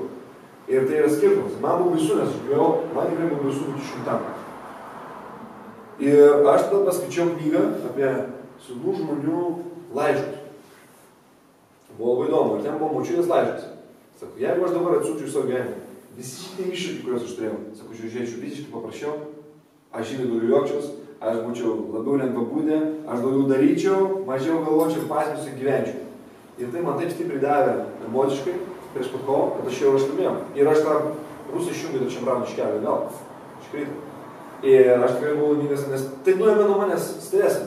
Ir už tai, jeigu jūs einat per gyvenimą, Jūs pažiūrėkit, ar jūs pragyvenat iš tikrųjų tą gyvenimą. Ar tai yra ta diena, kad aš sakyčiau, wow, aš nedubinu, aš iš tikrųjų gyvenau. Ir high performer visi, ką nori. Kai aš paklausiu, tai kiekvieną kuris daug uždirba, šiaip daug pasiekęs. Kaip tu nori pragyventi gyvenimą? Sako, aš noriu pragyventi, aš valgiau geriausius maistus, važinėjau geriausią mašiną, buvau geriausiose vietose, keliavau, turėjau pačius geriausius draugus, čia visiems tai sakau, nes kurie galvoja, o, tik gražus draugai, nieko blogo, bet irgi man turiu geriausius draugus, mes pragyvenom, mes praeitėm, aš sukūriau pilną verslą, atviau pilną vertę žmonėms, aš esu žinomas, aš padariau e, kažkokią tikrai didžiulę, didžiulį įspūdį savo gyvenime, nes aš ištikau šimtus tūkstančių žmonių, aš jiems padėjau savo buvimu. Aš turėjau antrą fainą pusę, mes keliavom, mes gyvenom, aš iš tikrųjų jaučiausi, kad aš filme. Aš nežiūriu filmą, aš filmas, apie mane galima sakyti filmą. Čia yra labai didžiulis skirtumas, kaip jūs galvojate apie savo dieną, kaip šiandien per gyvenimą, negu, kas jau jaučia skirtumą, jeigu jūs taip pragyvenate. Tai yra taip, kaip aš pradirbu virš šimtą valandų per savaitę. Aš pamirštu kartais valgyti. Tai man reikia kartais žadintuvo. Vėl reikia pavalgyti. Nes po to, kas gaunasi, ilgalaikį strategiją tai nereikia. Nes mano ilgalaikį strategiją aš buvau suirzęs, pervargęs, aš nenoriu nieko išgirsti. Ir jeigu aš dar tik pamatyčiau heiterį, man norisi būti sieną, todėl kad man tiesiog aš negaliu net perimti. Vietoj to, kur aš gerai jaučiuosi, kažkas sakom, aš net nereaguoju, man linksma. Tai suprantate, yra skirtumas. Ka, kam yra tas buvo, kaip ir man? Nežinau, bet kad tiesiog jautėsi taip. Tai, tai reikia irgi palaikyti. High performance tai yra strategija, strateginis gyvenimo stilius, kad jūs galėtumėte palaikyti tą įkrovą, galėtumėte palaikyti 20 valandų per dieną, per savaitę. Ir tai sako, tu perstepsi.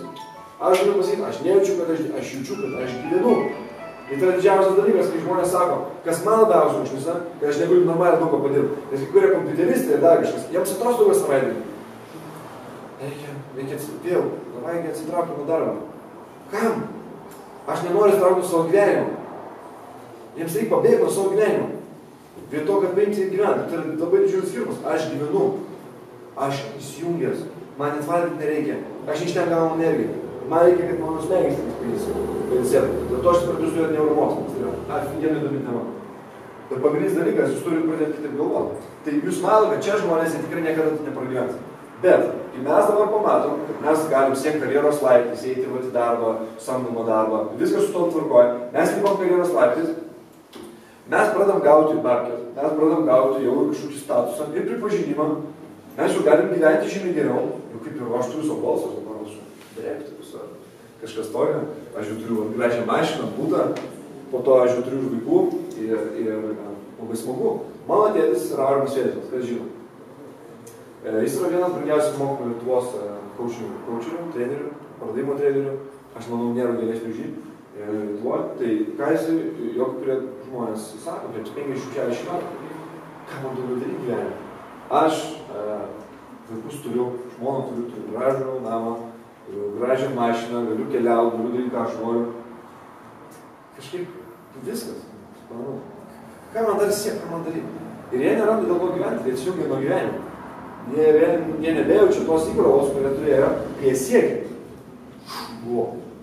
Kas atsimena, kai jūs buvot kažkokių misijų, kažką reikia padaryti, jūs buvote tiek įsijungę, tiek įstraukę, niekas daugiau buvo neįdomu. Tai įsivaizduokit, jūs visą laiką to gali būti pasijungę. Tom skiriasi Michael Jordanas nuo visų kitų. Jis buvo visą laiką pasijungęs. Aš kalbėsiu. Tai tas komfortiškas kasdieną, čia yra fokusavimasis į patenkinti savo visus poreikius. Patenkinti savo visus poreikius. Čia yra labai svarbu pripažinimas. Pripažinimas. Žiauriai svarbu pripažinimas. Šitie žmonės, jeigu ateis pas kitus savo draugus į namus, Jeigu pamatys, kad, nu, ten tarkim, koks pokylis, visi pradeda žavėtis jų draugo paveikslu. Koks paveikslas, wow, jeigu jie mato, kad jis gauna už tai pripažinimą, irgi tokį nusipirks. Irgi tokį nusipirks. Nors jiems jo fiziškai nereikia. Kas yra gal matęs tokių? Kad kažkaip perga jiems net nereikia, bet jie pergasi tik, kad būtų kėdė. Viskas tom tvarkoja, bet nėra kas mus labiausiai krauna. Ir jie vietoj to Dėl to aš irgi daug gėriau, todėl kad, ble, man, aš tada pripažintas būsiu, čia jaunimas, čia gyvoja, čia šustriausia. tai čia yra svarbiausi dalykai šitie. Ir čia labai žmonėms svarbu e, komfortas. komfortas.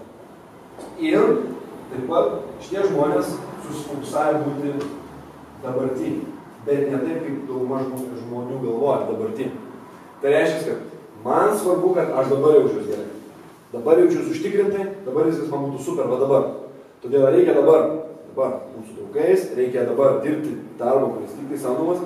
Šitie žmonės niekada nepradės verslo, niekada nepradės savo gyvenimo, nes ten jis nėra jokio užtikrintumo. Jie nemoka būti orientuotas į ateitį. Jie yra tik čia ir dabar. Ir jie neturi vizijos, kur jie eina. Už tai tiesiog yra čia ir dabar. Jiems svarbu visur būti čia ir dabar saugiems ir užtikrintus. Kas supranta čia, ką aš kalbu, kas jau turi šiaurinis, kas studijuoja. Tai būna taip, kad nu, nes, nesimoku, nesimoku, nesimoku, bet jau prispaudė reikalas, padarau per vieną dieną daugiau negu per pusę metų. Šitą rezonuoja? Vakar aš kalbėjau apie Lebron James. Ne taip žiauriai, bet pačiam žaidimui. Tai čia yra tas didžiausias skirtumas.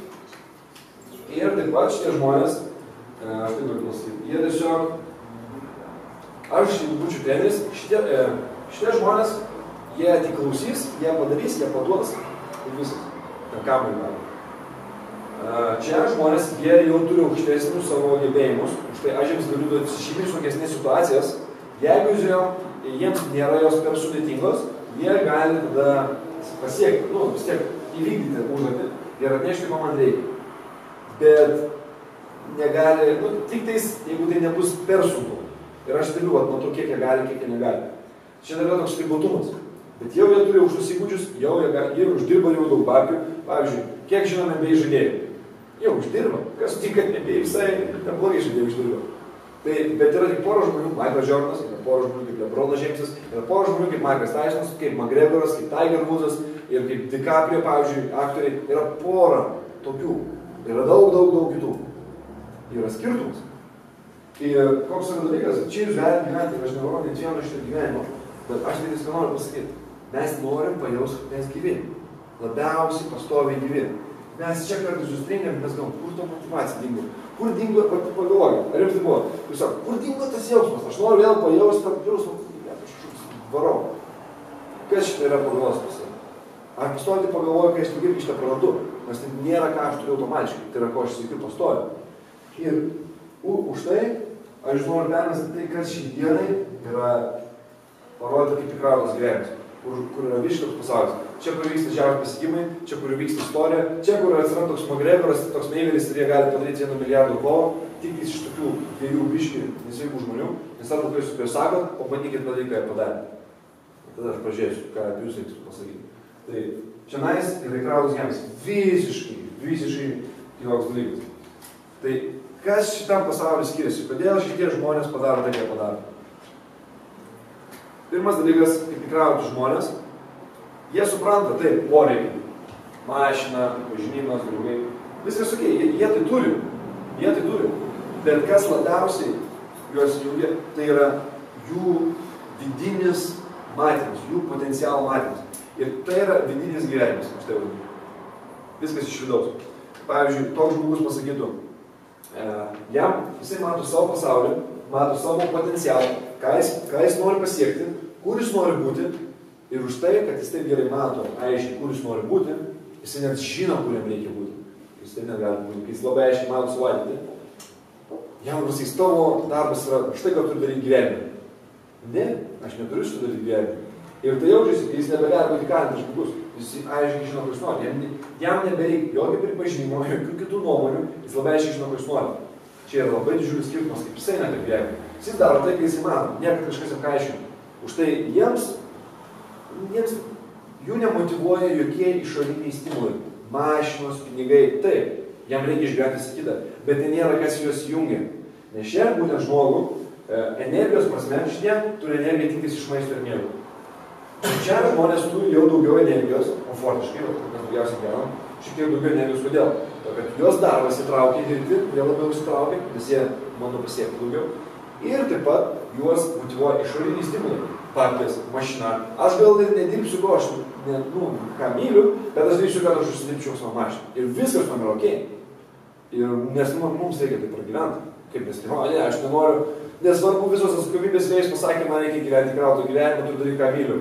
Visas atsakomybės metu, dabar aš darysiu, ką aš myliu. Nesąmonė. Bet tai yra, kad aš dirbu, dirbu su vizija, kad aš kai turiu laisvo laiko dabar, aš dirbu prie kažko, kas man iš tikrųjų vežtų kažką iš to vystyčiau, arba bandyčiau kažkaip prieiti prie to, kas man patiktų, kad aš tai išvystyčiau. Tai su laiku aš tada galėčiau pakeisti, ką aš darau šimtų procentų, tai kas man patinka. Bet e, energija, high performerius, pas žmonės, kurie gyvena krauto gyvenimą, yra jų vidinis potencialas, tai, ką nori padaryti, tai, ką nori pasiekti.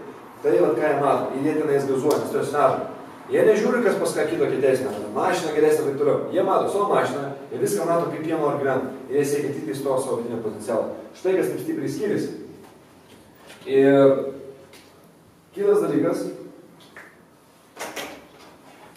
apie patį samoningumą. Samoningumas tai yra tiesiog, kiek aš pats sąmoningai mąstau, ką aš noriu padaryti. Ar aš darau automatiškai, nes darau, Ar aš pats pagalvoju, kodėl aš tai darau. Bet ir viskas, kas yra samoningumas. Tai čia ir nėra, nėra, nulis, nulis. Už tai žmogus net negali pagalvoti, ką jis pats nori daryti, jis net negalvoja apie net negali išmastyti. Čia yra jau didesnis samoningumas. Man reikia mažinti, man reikia babkių, man reikia išgyventi, jau linksmiau. Šitie žmonės, taip pat jie, aš galiu labai daug pasakoti, aš valandą tikėsi apie tai webinarą, štai aš vis dar įsijungiu, kad jums daugiau pasakoti, bet aš pamirštu laiką. Čia yra pilnai sąmoningas gyvenimo projektavimas. Čia žmogus pamato sąmoningai, aš noriu gauti tikrą. Aš suprantu, iš kur jin ateina. Aš suprantu sąmoningai, kaip man reikia struktūruoti su gyvenimu, aš pastoviai tikrą pajaučiu kiekvieną mielą dieną ir galėčiau išlaikyti. Nes su ta energija, su ta energija aš padarau ofigenai daug. Tiek būdamas draugai, su antra pusė, tiek padarydamas versle. Aš tą energiją sužvėręs. Kai sako, kai kokiam žmogui, kad jis yra žvėris, tai kitaip jie apibūdina jo tą energiją. Žvėrišką energiją, kurią, jis turi ir tiek mažai žmonių e, neturi. Ir tiek daug žmonių neturi. Tai čia yra būtent, kad įsąmoningai supratau, kaip aš noriu gyventi. Pirmas dalykas - filosofija. Jūs pagalvojate, kaip aš noriu pragyventi, nuo tada, kol man ateina toks mentalitetas. Nuo tenais. Štai visą tai pamatyti tikslą ir tada pradėti siekti. O ne, na, kažkada bus geriau. Ne, nebus geriau. Ne, nebus geriau. Tai čia tiesiog labai trumpai. Kas iki tol, kol kas ką aš manau suprantam. Dabar pasiekimai, čia įdomu, sportininkai visi kiti. Čia yra, čia man buvo įdomiausia, aš visada sėkiau šitų žmogų. Aš manau, aš visai neblogai padariau. 360 kovos, mūsų pralaimėjimų, aš didžiuoju šitų rezultatų. Kai kurie galvo, nu pasaulio čempionatė, žinai, vėl ten to pasiekė, kovų gal turėjai mažai, taip turėjau mažai, nes mano svorio buvo mažai žmonių. Nu tai va, tai čia to lengviau. Ok, aš per visus metus, keturis metus kiek aš sportavau, visur, kur eidavau, 9 procentų nuo kalno. Sakykit, ką jūs norite niekas nebuvo manęs nugalėjęs mano metų. Nes aš ant tiek buvau įsijungęs. Aš ten, ten buvo tie 2,5 metų, buvo įdomiausias filmas, kurį aš pragyvenau savo gyvenime, tokios emocijos ir e, aš visą apie tai pagalvoju. Jeigu aš, kam yra taip, apie kažką pagalvoju, tai galvoju, čia buvo, o, čia buvo kažkas tokio. Ne? Tai man tas tie 2,5 metų buvo kažkoks filmas. Tai aš tiesiog variau, aš daug bijojau, tai nebuvo aš vien linksmas, buvo visko. Bet va tame, kad buvo visko, aš tikrųjų pajaučiu, kad aš gyvenu ir nuopolių, ir nesąmonių, ir visko, visko, visko, visko, visko. Ir čia ir buvo gyvenimas, o ne komfortas, ramu. Ten buvo daug. Ir koks yra čionais dalykas su sportininkais, šitie sportininkai yra visada pasijungę. Visada. Čia kaip ne visada, čia, kaip, čia visada. Kobe Bryantas ar dar kažkas, Kobe Bryantas irgi yra kaip Michael Jordan. Ten irgi yra nesveikas bilas. Bet pavyzdžiui, paimkim nežinau, kokį sportininką, vieną, jisai pasijungęs tada, kada reikia. Michael Jordanas, paimkim šitą bičią. Jis, kai atsigina, jis yra pasijungęs, kai jisai nemegoti, jisai buvo pasijungęs. Jis visą dieną, to, kas girdėjo savo flow. Flow būseną. Flow būseną, tai kai jūs nebemastot, jūs esate. Jūs nebegalvojat, jūs darote. Tai jisai gyvena kiekvieną dieną tenais. Nuo ryto iki vakaro. Visada pasijungęs. Kaip tokiu išbūti? Čia yra įdomiausias dalykas. Nes visi mes žinom, kaip išbūti penkias minutės. O kaip išbūti visą gyvenimą, čia yra strategija, čia yra visiškai tokie dalykai, ką aš noriu pamokyti šiandien, bet aš matau, kad nebespėsiu. Galvau, čia bus 10 minučių, tada eisim prie kitur. Susižiūrėjau, kad vyksta kitaip. Ir šitie žmonės, duok jiems bet ką. Aš tenis, man reikia šito rezultato galutinio. Jie sako, gerai. Viskas. Aš šokę pasieku, kaip jie tai padaro, bet jie visada padaro. Ir aš galiu paklausti, jūs galite paklausti, kaip tu tai padarai? Arba kas iš jūsų gal pradimas dėliau? Ir jūs galite pamatyti kartais, kai įvyksta nesveiki pradėjimai iš žmonių. Kas pradeda taip, kad žiūrite ir sako, ką tu, tai kaip tu tai pavarai? Tu buvai taip čia ir dabar, tu taip šnekėjai, tu taip atsipūdęs suvarai tą žmogų. Nu, čia gerai viskas, bet tu taip gerai pašnekėjai. Kamerai buvo, kad jūs tiesiog buvo pašnekėjęs su draugu kažkokiu, arba vyrai užkalinant merginą, jūs taip kažkaip pašnekėjo, tai viskas gerai. Klausia, kaip tu padarė? Na, nežinau, kažkaip, čia ir dabar kažkaip pašnekėjau gerai, bet, nu, kas rezonuoja su gyvenime kažkur, tenais buvo. Tai čia yra taip iš, jie išeina, varžybas išeina kovoti, jie tiesiog čia. Ir jie padaro tai, ką padaro, ir niekas nesupranta, kaip tai padaro. Jie net patys nesupranta, kaip tai padaro. Paklauskit jų, kaip tai padaryti, nežinau, bet aš tai padariau. Atnešiau, ko norėjau, ko reikėjo. Ir tai yra kodėl? Kad jie taip stipriai pasukė laimėjimą ir jie taip stipriai yra išsiugdę savo įgūdžius žiauriai aukštam lygmenį, kad dabar jie eina ir veikia iš reflekso, tie įgūdžiai tokiam aukštam lygmenį yra ir jie tiesiog taip gerai pasirodo jau automatiškai, jis yra taip ilgai išdirbtas įgūdis. Tai nėra, kad jūs galite būti high performer sporte per savaitę, per metus. Tai yra dafiga daug darbo, kuris kiekvieną dieną šlifuojat savo įgūdžius iki automatizmo. Kad jūs tiesiog veikiat automatiškai tokiam aukštam lygmenį. Ir kai žmogus paprastas, kuris to niekada nedaręs, jūs man šono, jūs jam atrodo nesveikas fenomenas. Paimkime Magregorą, kaip pavyzdžiui, su Facelis išdaužė. Kas nori tą sako, bet jis susišjungia beveik. Išskyrus vieną žmogų, UFC, nekalbu apie, apie Floydą, kuris irgi atėjo ir jis sugalvojo, taip, visur kaip galima žiūrėti, aš iš savo pozicijos ką mačiau, ir mane tai sužavėjo. Ir aš matau bičią, kuris visiškai pasijungęs, jisai taip supranta, ką jis daro, jis visiškai high performance. Viską, ką aš mokilau, tai realiai Magregoras. Viską, ką aš jums pasakysiu, jūs galėsite pažiūrėti, viską, ką pasakė Magregoras daro. Už tai aš irgi dėjau H sistemą kaip žmonės, su kuriuos aš lygiuosi. Aš labai stipriai lygiuosi. Tai tuo labai skiriasi sportininkai kodėl jie tiek daug pasiekė. Dabar kaip jums išbūtų ir būsinoje, ar kaip jums būtų geriausių draugų, ar kaip jums turėti su antra pusė turėti geriausius ryšių, geriausius ryšių, ar pasiekti daugiausiai, ar uždirbti daugiausiai, vidinė būsena duoda tą, nu, tą energiją, kurią jūs turite. Ir tai nėra, kad jūs apsigausit ar dar kažkaip. Kad tą vidinę būseną išlaikyti, turi būti adekvatus rezultatai. Čia nais. Nes daug ką matau, užsimotivuoja ir dabar aš būsiu motivuotas visą laiką. Ne, jeigu tu nieko nepasieksi, iš kur pasitikėjimas tai? Iš pasiekimų. Kodėl aš užtikrinu šimtų procentų, aš dabar galiu pasiekti gyvenimą bet ką. Ir kai kurie iš jūsų taip pat jaučiate. Tai kad jūs per tiek praėjote, jūs tokius dalykus esate pasiekę ir jūs sakote, klausyk, tu man, bet aš tvarkysiu, nes aš žinau, aš nemastau, neįsivaizduoju, kad galėčiau, aš žinau, nes aš esu jau tiek daug padaręs. Ir aš žinau, kad aš galiu bet ką padaryti, aš žinau. Ne aš galvoju, aš žinau. Kas jaučia, kad didžiulis yra skirtumas. Tai va tas ir yra, turi būti adekvatus rezultatai. Tai čia nais noriu dabar e, sustoti kad apie tai gal kažką pamastytumėt. Ir pagrindinis dalykas, kas jūs labiausiai yra filosofija, kaip jie nori pragyventi. Michael Jordan, ką jis nori daryti? Jis nenori laimėti su varžybų, jis nori būti geriausias, kuris kada nors yra gyvenęs atletas. Ką nori Floydas Mayweather padaryti, jeigu iš anksčiau jūs žiūrėjote. Jis nori būti ne geriausias boksininkas, geriausias atletas. McGregoras nori padaryti istoriją. Tiger Woodsas norėjo būti pats geriausias visų laikų žaidėjas. E, šitas Michael Phelpsas. Šeši aštuoni olimpiniai medaliai per vieną tą žaidimą. E, per vieną, per vieną tas rungtynės. Tai jie visi nori būti geriausi. Ne šiaip, bet geriausi. Jie nori pragyventi taip, kad būtų wow, būtų filmas. Tom labai yra stiprus uh, skirtumas tarp sužydų žmonių. Kas pavyzdė skirtumą? Liuks, tai penkias minutės per traukėlę ir tada sugrįžtam ir tada važiuosim labai rimtai toliau. Ačiū. Tai kas e, prisimena, ką mes čia kalbėjom? Kas gali pasidalinti, kas ką pasiėmė gal labiausiai iš to savo? Aš manau, kiekvienam įdomu, ne vien iš mano pažiūrėto ir iš kitos pusės, kas gali pasidalinti, kas labiausiai strigo iš to, kas auga pasimtis, kaip ko pagalvoja. Niekas, skėtų, ką, jūs sakykite? Taip. Gal labiausiai gal tas jūsų būtent tas mąstymas, kad tada būti geriausia, nes jūs pavyzdžiui niekada neminėjote tos nuosmukius, nes kai sakoma, ir nuostolių, ir reikia juos atsižvelgti, znači ko jis sudaro, tą ateitį, tą planavimą, pa tai kalbėti. To znaš ti ga? No, ja. Super, super. Te da sam daš, pa možda. Aču. Te? Mama, me se patiko taj kad vodim iz istanke, pa si je majko mora, da so sem pomote. Da učem še panično, da se se se. Tas daugiau informacijos Super, super. Kas, kas dar turi? Aš galiu paklausti. Taip. Jūs du su pusę metų sakėt, kad buvo įspūdingiausia, o kodėl dabar nebesportuojat? Dabar, e, ai, dabar, kodėl nebesportuoja? Nu, gal sportuojat, bet kodėl vėl ne, tu nenorit dar tų dviejų su pusę metų pakartoti? Jo, gavosi, kad e, turiu dvi išvaržas, turiu spazmus viršui.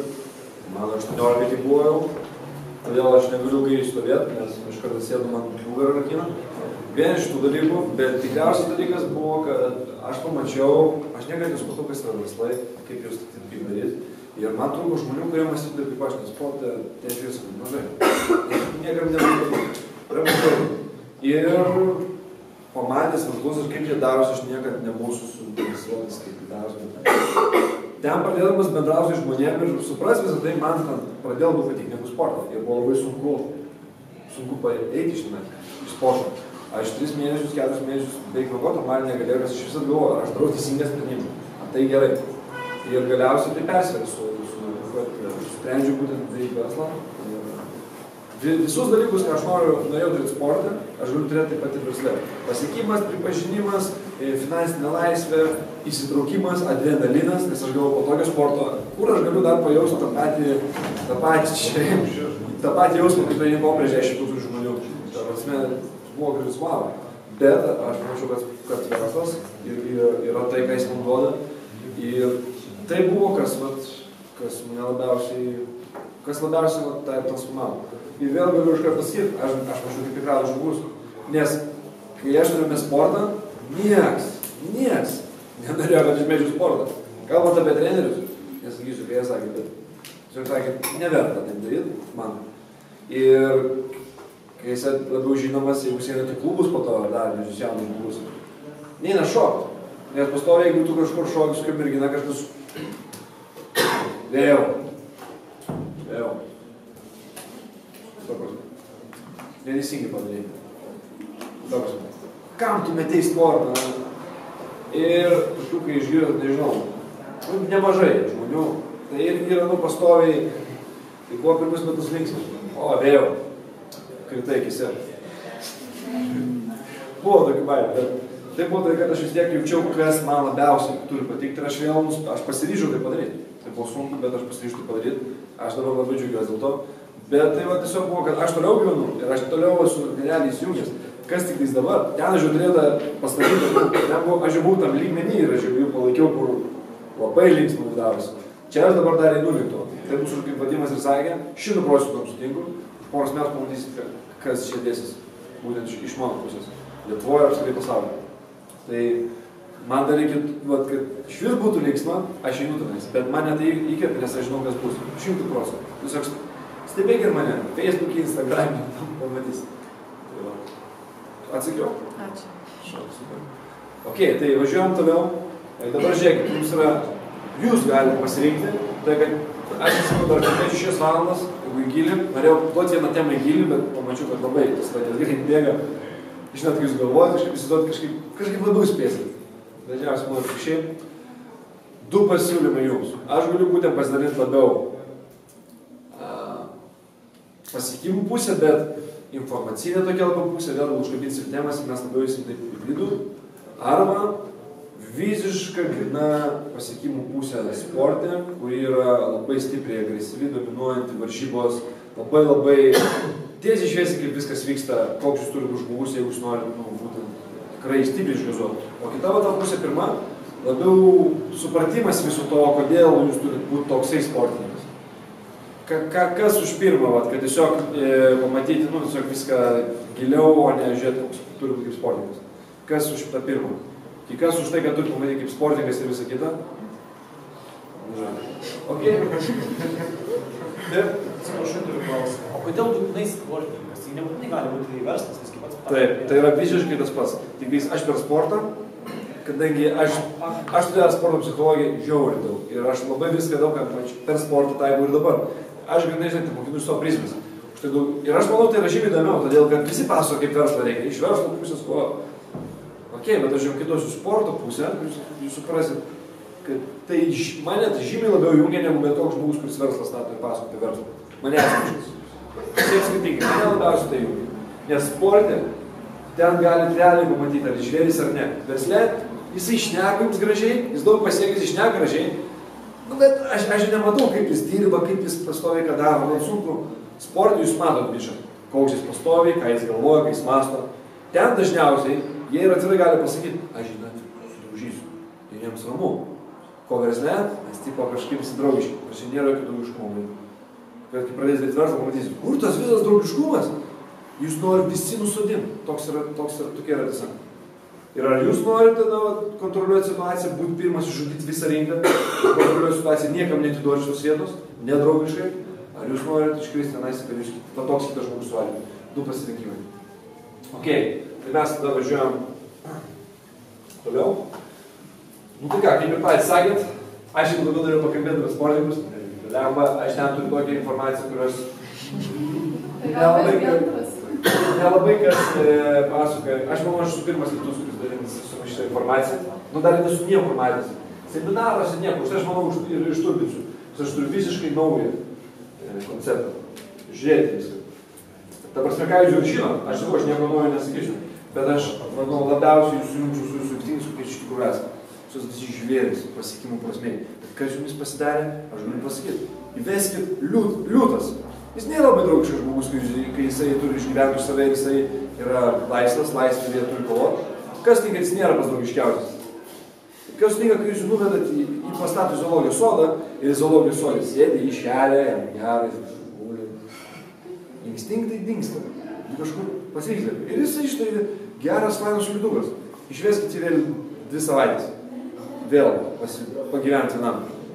Kažkas vėl pasitsitiko. Tas pats yra su jumis. Toliau. Važiuojam. Nepasakosiu šiandien apie tai, bet bus irgi lygiai. Kaip turėti pastovę motivaciją, čia didžiausias pastoviai girdžiu šitą klausimą, e, daugiausiai man jis ir užduotas ir jisai yra tikrai svarbus, nes motivacija lygų ta emocija, kurios mes norim, tos įkrovos. Taip, kam būtų įdomu sužinoti, kaip aš žiūriu? ok, mes čia gal kalbėsim. Taip. Štai, high performeriai žmonės, konos, jie gyvena ateityje. Jie negyvena dabartį, jie gyvena ateitį, daug kam gali suprantamas klausimas būti, visiškai normalu, tai kad mūsų visuomenė nedukavo, kaip dabartis energija veikia. Tai aš šiek tiek padukuosiu. E, pirmas dalykas - pastovė motivacija ir įprotė. Mygtukas, kuris duoda motivaciją. Pagokit apie save dabar tiesiog trumpai. Kada išėjot motivaciją? Kas įvyko? Kodėl buvo motivacija? Kas gali gal pasidalinti? Kodėl buvo motivacija? Tai pamatysit, bus vienas dalykas taip pats. Taip? Kai tu pasiekai kažką geriau tiesiog. Paprasčiausia. Tu bandai, bandai, bandai, pasiekai maksimumą ir išėjo dar daugiau tas maksimumas. Bet va tų pačių pradžių, kad siektų. Vat kad iš vis. Nu, baimė kažkokia, kažkokia viduje. Tai maždaug tai išgąsdinsiu, tu būsi motivuotas. Bū! Gerai. Motivacijos nėra. Ar yra? Tai vat kas jungia? Baimė būti antram. Man ir Jo. Norisi kažką Šitas galingas, šitas galingas. Taip, kas dar jaučia? Kaip motivacija? Pamačiau, kad kitas žmogus žymiai gerai tą padarė. Tai galvės tas varo, šiek tiek nori. Okay. Tai žiūrėk, pirmas, e, pirmas dalykas, e, baimė e, būt e, numeriu 2. Antras dalykas, e, kitų, pa, kitų pavyzdys, nu, pamačiau, ne? Nu, davai dar vieną. Noras būti geresniu, negu švai prieš tai. Noras tobulėti. Tobulėti. Nu, Čia realiai aš prie to pačio. Nu, geresnis tobulėti. Gal dar vienas kažkas nori. Visi- Padėti. Padėti. Kas sakė padėti? Ok, žiūrėkit. Tas pats ir vyko, kai žinau, World Value Survey. Viena didžiausių organizacijų, kuri tyria žmonės, žmonių laimę. Iš kur ateina didžiausia laimė? 9 procentų populiacijos jie tyria. Tas pats buvo irgi, čia kaip apie motivaciją. Laimė yra mylėti kitą žmogų. Laimė yra, kad tu atsigeli ryte ir tu gyvas. Laimė yra, kai, kai tu suvalgai tą skanų šokoladą. Laimė yra, šimtas žmonių sakė, taip, kas man yra motivacija, baimė būtų antru. O fundamentas pats tas yra visiškai tas pats. Visi žmonės apie laimę tada, kai sakė, jie tiesiog ką norėjo pasakyti, noriu pajausti aukštesnę, tą pakeltą, labiau stipresnę emociją, šiuo metu, negu šiuo momentu turiu. Kas tu sutiktų? Kad tai realiai bet ir noriu, nes tada motivacija. Labai panašus dalykas. Tai yra mygtukas, mum ir jūs turite. Motivacija. Žiūrėkit. Visas, ir šitas baimė būtų tų kitų, e, kitų pavyzdys, kaip motyvuo, motivuotas, e, geresnis noras tobulėti, e, ar tiesiog būti geresniu, ar padėti kitiems, kas tuo momentu vyko iš tikrųjų ten viduje giliai. Aš pamatė savo potencialą. Ir arba kitaip sakant, pamatėt ateitį savęs, ateities save. Bet kokiu atveju. Pažiūrėkit, bet kur. Baimė numeris 2 ar 2. Jūs pamatėte ateitį, kad jūs numeris 2. Kas net nori būti numeris 2 kažkurioje vietoje, kur jums labiausiai svarbi? Niekas. Ir jūs matote, sakė, numeris 1. Ir jūs nenorite būti, bum motivacija, aš noriu būti numeris 1. Ateitį, jūs, bet jūs tada bet buvot ateityje. Pažiūrėjom kitų pavyzdys. Kai mes matėm kitų pavyzdį, mes pamatėm, kur mes galime būti. Tai nieko apie tą žmogų. Nes jie sakys, jis gandonas. Jisai, jisai pasikėlęs, jisai blogas žmogus. Jis dabar turi daug batų, jam gerai, jis blogas žmogus. Kiti mano, aš noriu būti jisai. Tai nieko apie tą žmogų. Jisai gyvena savo gyvenimą, kad ir koks jis būtų, blogas ar geras. Bet tai yra tai, ką mes matėm čia viduje. Ir tie, kurie gavo įkvėpimą, motivaciją, jie pamatė save geresnį ir jie mato žmogus geresnis, jie mato, kur jie gali būti. Ir už tai jie vėl pabuvo ateity ir jie pamatė save emociškai išjauti save. Emociškai save išjauti. Kai jūs turit baimę būti numeris du, jūs jaučiate, kaip jums, jūs nenorite. Tai yra emocija. emocija. Kitų pavyzdys, vėl tai užstiprinti emociją, aš noriu, man aš noriu būti. Noriu būti geresniu, tobulėti. Iš kur? Nes aš matau save, už tai aš turiu norą būti geresniu, tam, kad aš po truputį artėčiau. Ir aš to papasakosiu apie laimę, iš ko ateina ta giliausia laimė. Ir tobulėti vėl tas pats. Padėti žmonėms, jūs matote vėl save, kaip jūs padedate žmogui. Kaip, kaip, ką jūs galite jam padėti, kaip įvėjimas gali atrodyti, bet bet kokiu atveju tuo momentu buvo ta didį. Vienintis buvo ta didį, tai yra tas mygtukas, kuris labiausiai jungia, jeigu jūs tą didį susijęti emociškai. Emociškai ir ta didis yra geresnė negu šiuo momentu yra mūsų dabartis ar ten, kur mes esame. Ką mes darom, ko mes užsiemam. Pavyzdžiui, pavyzdys. E,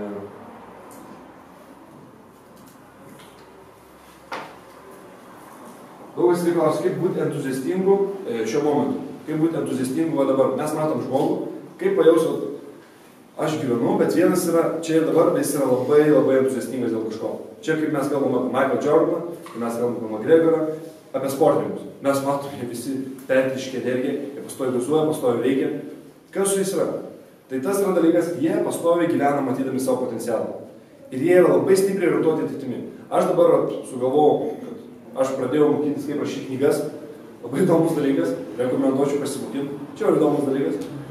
Aš dabar nusprendžiau paleisti pirmą knygą į knygyną, tai yra trečia knyga mano, kuri bus apie pagrindinius šešis high performerio savybės, kurios labiausiai, labiausiai jungia. Mes galim prirašyti jų daug, bet aš tiesiog išskyriau pačias, pačias, pačias tas mygtukai, kurie, jeigu jūs siekite tų savybių, jūs jaučiatės, jūs jaučiate didžiausią įkrovą. Viena iš tų įkrovų, tai yra high performeriai, yra orientuoti ateitimi ir tiksluoti. Visą laiką. Ir tas entuzijazmas, entuzijazmas tai eina, aš būtent entuzijazmą, du dalykai - energija ir tikimybė dėl savo ateities. Energetiškai, energija ir e, tikimybė dėl savo ateities. Pavyzdžiui, nu dabar jeigu jūs pamatytume savo ateitį, kur jūs esate. Ten, kur jūs labai norite būti. Ir jūs susijęte emociškai. Kaip faina, kaip linksma, kaip, kaip ten bus gazas. Jūs jaučiate, tai yra sąmonė, neveža. Aš noriu tenais, tenai. Mes turim šitą gebėjimą. Kur yra užstrigę žmonės, kai sakiau, e, komfortiški žmonės, jie labai stipriai užstrigę dabartį. Jie nori čia ir dabar sukumu, jie va, dabar nori pajausti visą tai. Kur high performeriai, kur žmonės, kurie daugiausiai pasiekė, jie būtent yra labai stipriai, labai stipriai įsijungia į savo ateitį. Tai yra dalykas, dėl ko aš rašau savo tikslus du kartus per dieną. Daug kas sako, kam jūs rašyti ir taip toliau. Kad aš jas matyčiau, kad aš jas emociškai, kai aš rašau, aš susijętu emociškai. Ne visada lengva, ne visada noriu, bet aš tai darau tam, kad aš vėl priminčiau savo tikslus. E, telefonas e, turi 5-6 priminimus per dieną. Kaip aš turiu praeiti per dieną ir kokie mano tikslai. Kad aš pastoju savo matyčiau, nes pilna visokių kitų dalykų, aš vėl užmirštu savo pagrindinį tikslą. Kai aš jį gaunu, aš vėl gaunu tą visą įkrovą. Tai mano, e, tai didžiausia motivacija pastoju, kai jūs matote, kai jūs gyvenate savo ateitį. Tik kai jūs nustojate gyventi, viskas. Pavyzdžiui, paimkite, kodėl žmogus depresuoja. Depresuojantis žmogus. Kodėl jis depresuoja? Nes jis taip stipriai susikoncentravęs savo ateitį. Ir į praeitį. Kas sutinka? Jis gyvena praeitį. Jo praeitis yra geresnė negu jo ateitis. Ten taip buvo smagu, taip gera, ten buvo taip linksma. Kai nemato galimybių, irgi depresuoja. Anksčiau buvo gerai. Net todėl, kad anksčiau, o toliau neturi. Taip, Pavyzdžiui, ir- netgi tas, kuris pirmam, pirmą vietą užima, irgi depresuoja, nes neturi pasiekti dabar. Taip, taip. Jam reikia keisti tą darbą. bet tuo momentu mes vis tiek kažką fokusuojamės. Tai greičiausiai arba į dabartį, arba į praeitį. Nes ateit, į ateitį nesifokusuoja. Jeigu dabar aš pakreipiu fokusą, jūs galvotumėte savo ateitį, jūs galvotumėte savo ateitį. Jeigu mes pakalbėsim, o kaip buvo anksčiau, ne, kaip buvo istorija. Mes esame savo ateitį, praeitį. Ir jeigu mes tai susijęme emociškai, mes ten labiau įlendam. Tai tas va dalykas, ką va, ir aš pats pastebėsiu, jeigu aš prisimenu buvusius draugus, kas, kas mums buvo antra pusė buvusi, ką vėliau ir kalbėsiu apie santykius, gal kažkas bus irgi apie tai, bet tada mes pradėjome, ten buvo faina ir tuo momentu mes nematome, tai high performeriai, jie net nemasto ateitį, jie negali būti apie praeitį. Jie niekaip, jie, jeigu jūs paimsit žmogų, kuris labai daug siekia ir su ta energija yra varyti gazuot, Nu, žiūrėk, bet atsimeni, kaip buvo anksčiau gerai. Jis jau karto. Ir jis galvos, buvo toks piktas, nes jis net nenori tai galvoti. Jis yra taip stipriai uždegęs dėl savo dėties. Ir jam taip linksma, ir jam taip įdomu. Ir visi depresuoti žmonės, tai yra, tai yra rumuo. Daug kas, daug kas vis tik galvoja, ką aš noriu čia pasakyti. Tai yra rumuo, tai nėra kažkoks įgimtas gebėjimas. Daug kas atvyko, galvoju, šiaip sporteris, pačiais sportininkais. Jie sako, nu Konoras turi talentą, jis taip mato vizijas, taip mato, ką jis ten padarys, kaip tu gali nuspėti, kaip tu ten žmogų išjungsi ir kaip tai bus. Tai yra rumuo, nėra įgimtas gebėjimas, tai yra rumuo. Jeigu jūs treniruojat, jūs išmokot labiau matyti savo ateitį. Kaip jį treniruot? Vienintelis dalykas, vizualizacijos yra pratimai, aš jums nepasakosiu čia, tai nėra kažkas mistiškai paslaptingos, galima nueiti į YouTube ir pradėti žiūrėti vizualizacijos, kaip tai daryti. Bet faktas yra tas, kad jūs tai turite tiesiog susėti emociškai. Vienintelis dalykas, kodėl yra svarbu ta vis, visa vizualizacija. Aš noriu pasidalinti, e, man buvo labai įdomu patirtis, kai aš pradėjau mokintis apie tą vizualizaciją. Man buvo 17 štrikoju prieš 25 metų vyrą Vokietijoje. Man per tą savaitę reikėjo mes 9 kg, buvo tikrai ką veikti. Bet įdomiausia dalis buvo, kai man reikėjo kovoti prieš jį. Ir aš iki to perskaičiau knygą pasąmonės, ne, ne pasąmonės galėčiau kitą galvo. Norėk ir turėsi. Aš tos knygos visos, e, prisipažinsiu, neperskaičiau, man, bet man buvo viena labai įdomi e, tenais šitos skyrius tema, tuo momentu man buvo jinai turi, apie vizualizaciją. Ir kad tenais pasakoju, kad aš turiu kuo labiau viską išjausti, pamatyti, kaip visa tai vyks ir taip toliau ir taip toliau. Ir kai aš atvažiavau į Vokietiją, kovoti prieš bišą, aš nesivaizdavau kaip bus, bet mes atdirbinėjom vieną techniką tą savaitę. Buvo tiesus šoninis ir su šuoliuku į priekį, e, tiesus, tiesus ir šoninis su šuoliuku į priekį galvą. Ir kažkaip aš vis įsivaizdavau, kaip mes einame į tą ringą ir kaip aš būtent atlieku. Kas buvo dar labai gerai, kad prieš pačią kovą mes dar visi einam į ringą ir mes nežinom, kas prieš ką kovosim, tiesiog meta burtus, nu ne meta kaip burtus, bet vėlgi pasako, kas prieš ką kovoja. Man buvo galimybė būti pačiam lygiai. Kiek? Tris minutės turiu, supratau. Tai šiandien to ir. Jo. Ir ką iš to pasėmiau, kad e, aš vis įsivaizdavau, kad tame ringe aš pajaučiu, kaip aš lipu laiptais, koks yra jausmas, aš lipu laiptais. Kaip aš įeinu ringą, koks yra jausmas, pats jau tas emocijos jau. Mačiau grinai savo priešininką, aš galėjau labai gerai įsivaizduoti veidą. Kai aš nuspaudžiau ranką, aš labai stipriai, norėjau pamatyti veidą, kaip atrodo visa jo galvos struktūra. Ir prieš kovą aš 20 minučių tiesiog pasiruošęs, tiesiog gulėjau ir su rankšluošiu. Ir aš visą vizualizavau, kaip aš įeinu, kaip aš stoviu rinė, kaip aš jį visą jaučiu. Ir kaip aš pradedu kovoti prieš tą varžovą, kaip jis man smūgio, kaip aš nainu. Ir būtent kaip aš paleidžiu tą kombinaciją, būtent iš dešinės rankos, iš kairės rankos aš jam pataikau. Ir aš kaip pajaučiu jo visą veidų struktūrą, kaip, kaip pas jį, koks jausmas yra pataikyti, kaip jis kalba su veidu, kaip skrenda kaip ringas, e, kaip ringo danga visą pradeda judėti. Ir kaip mano ranka iškelia ir koks yra malonus jausmas. Aš tai vizualizavau daug kartų pavykstu. Negaliu pasakyti, kiek kartų tą patį ar tą patį. Mačiau, 5-6 kartus tikrai, aš atsimenu, kad e, buvau tą patį pragalvojęs. Ir kai mes įėjome į ringą, kai aš įlipau, aš stoviu, viską muša, aš kaip vis atsitraukiu, atsitraukiu, jis muša, aš vėl atsitraukiu, vėl spaudžiu, žinau, man kažką reikia susmūgiuoti. Ir pirmas, pirmas smūgis buvo būtent ta kombinacija. Būtent iš kairės rankos pataikiau į galvą. Taip pataikiau, kad man net iki dabar čia vat, kažkas skauda. Vos išrinko neišnešiau. 20 sekundžių buvo trūko. Ir buvo visiškai identiškai taip, kaip aš mačiau. Tai ką iš to pasimti, e, vizualizacija tikslai, kadangi jau turiu viską pabaigti, yra ideomotorika, arba kitaip dar sakant, mes turim smegenis, čia nais,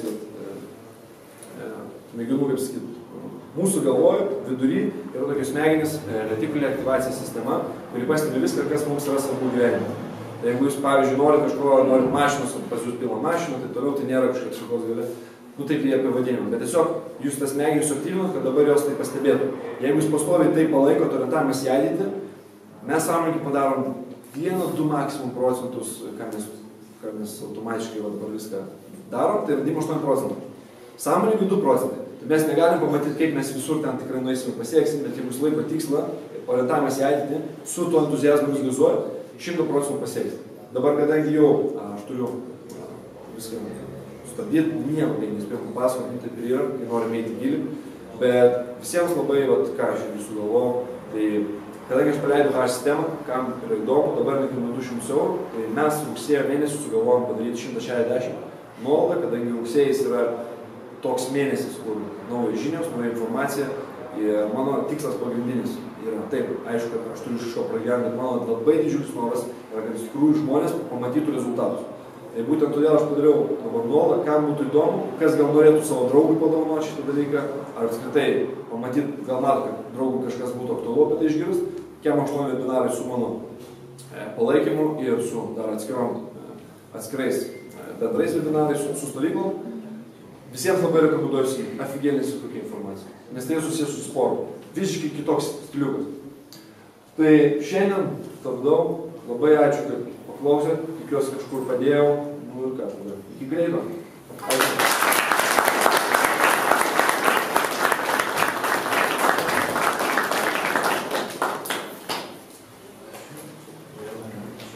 Taip.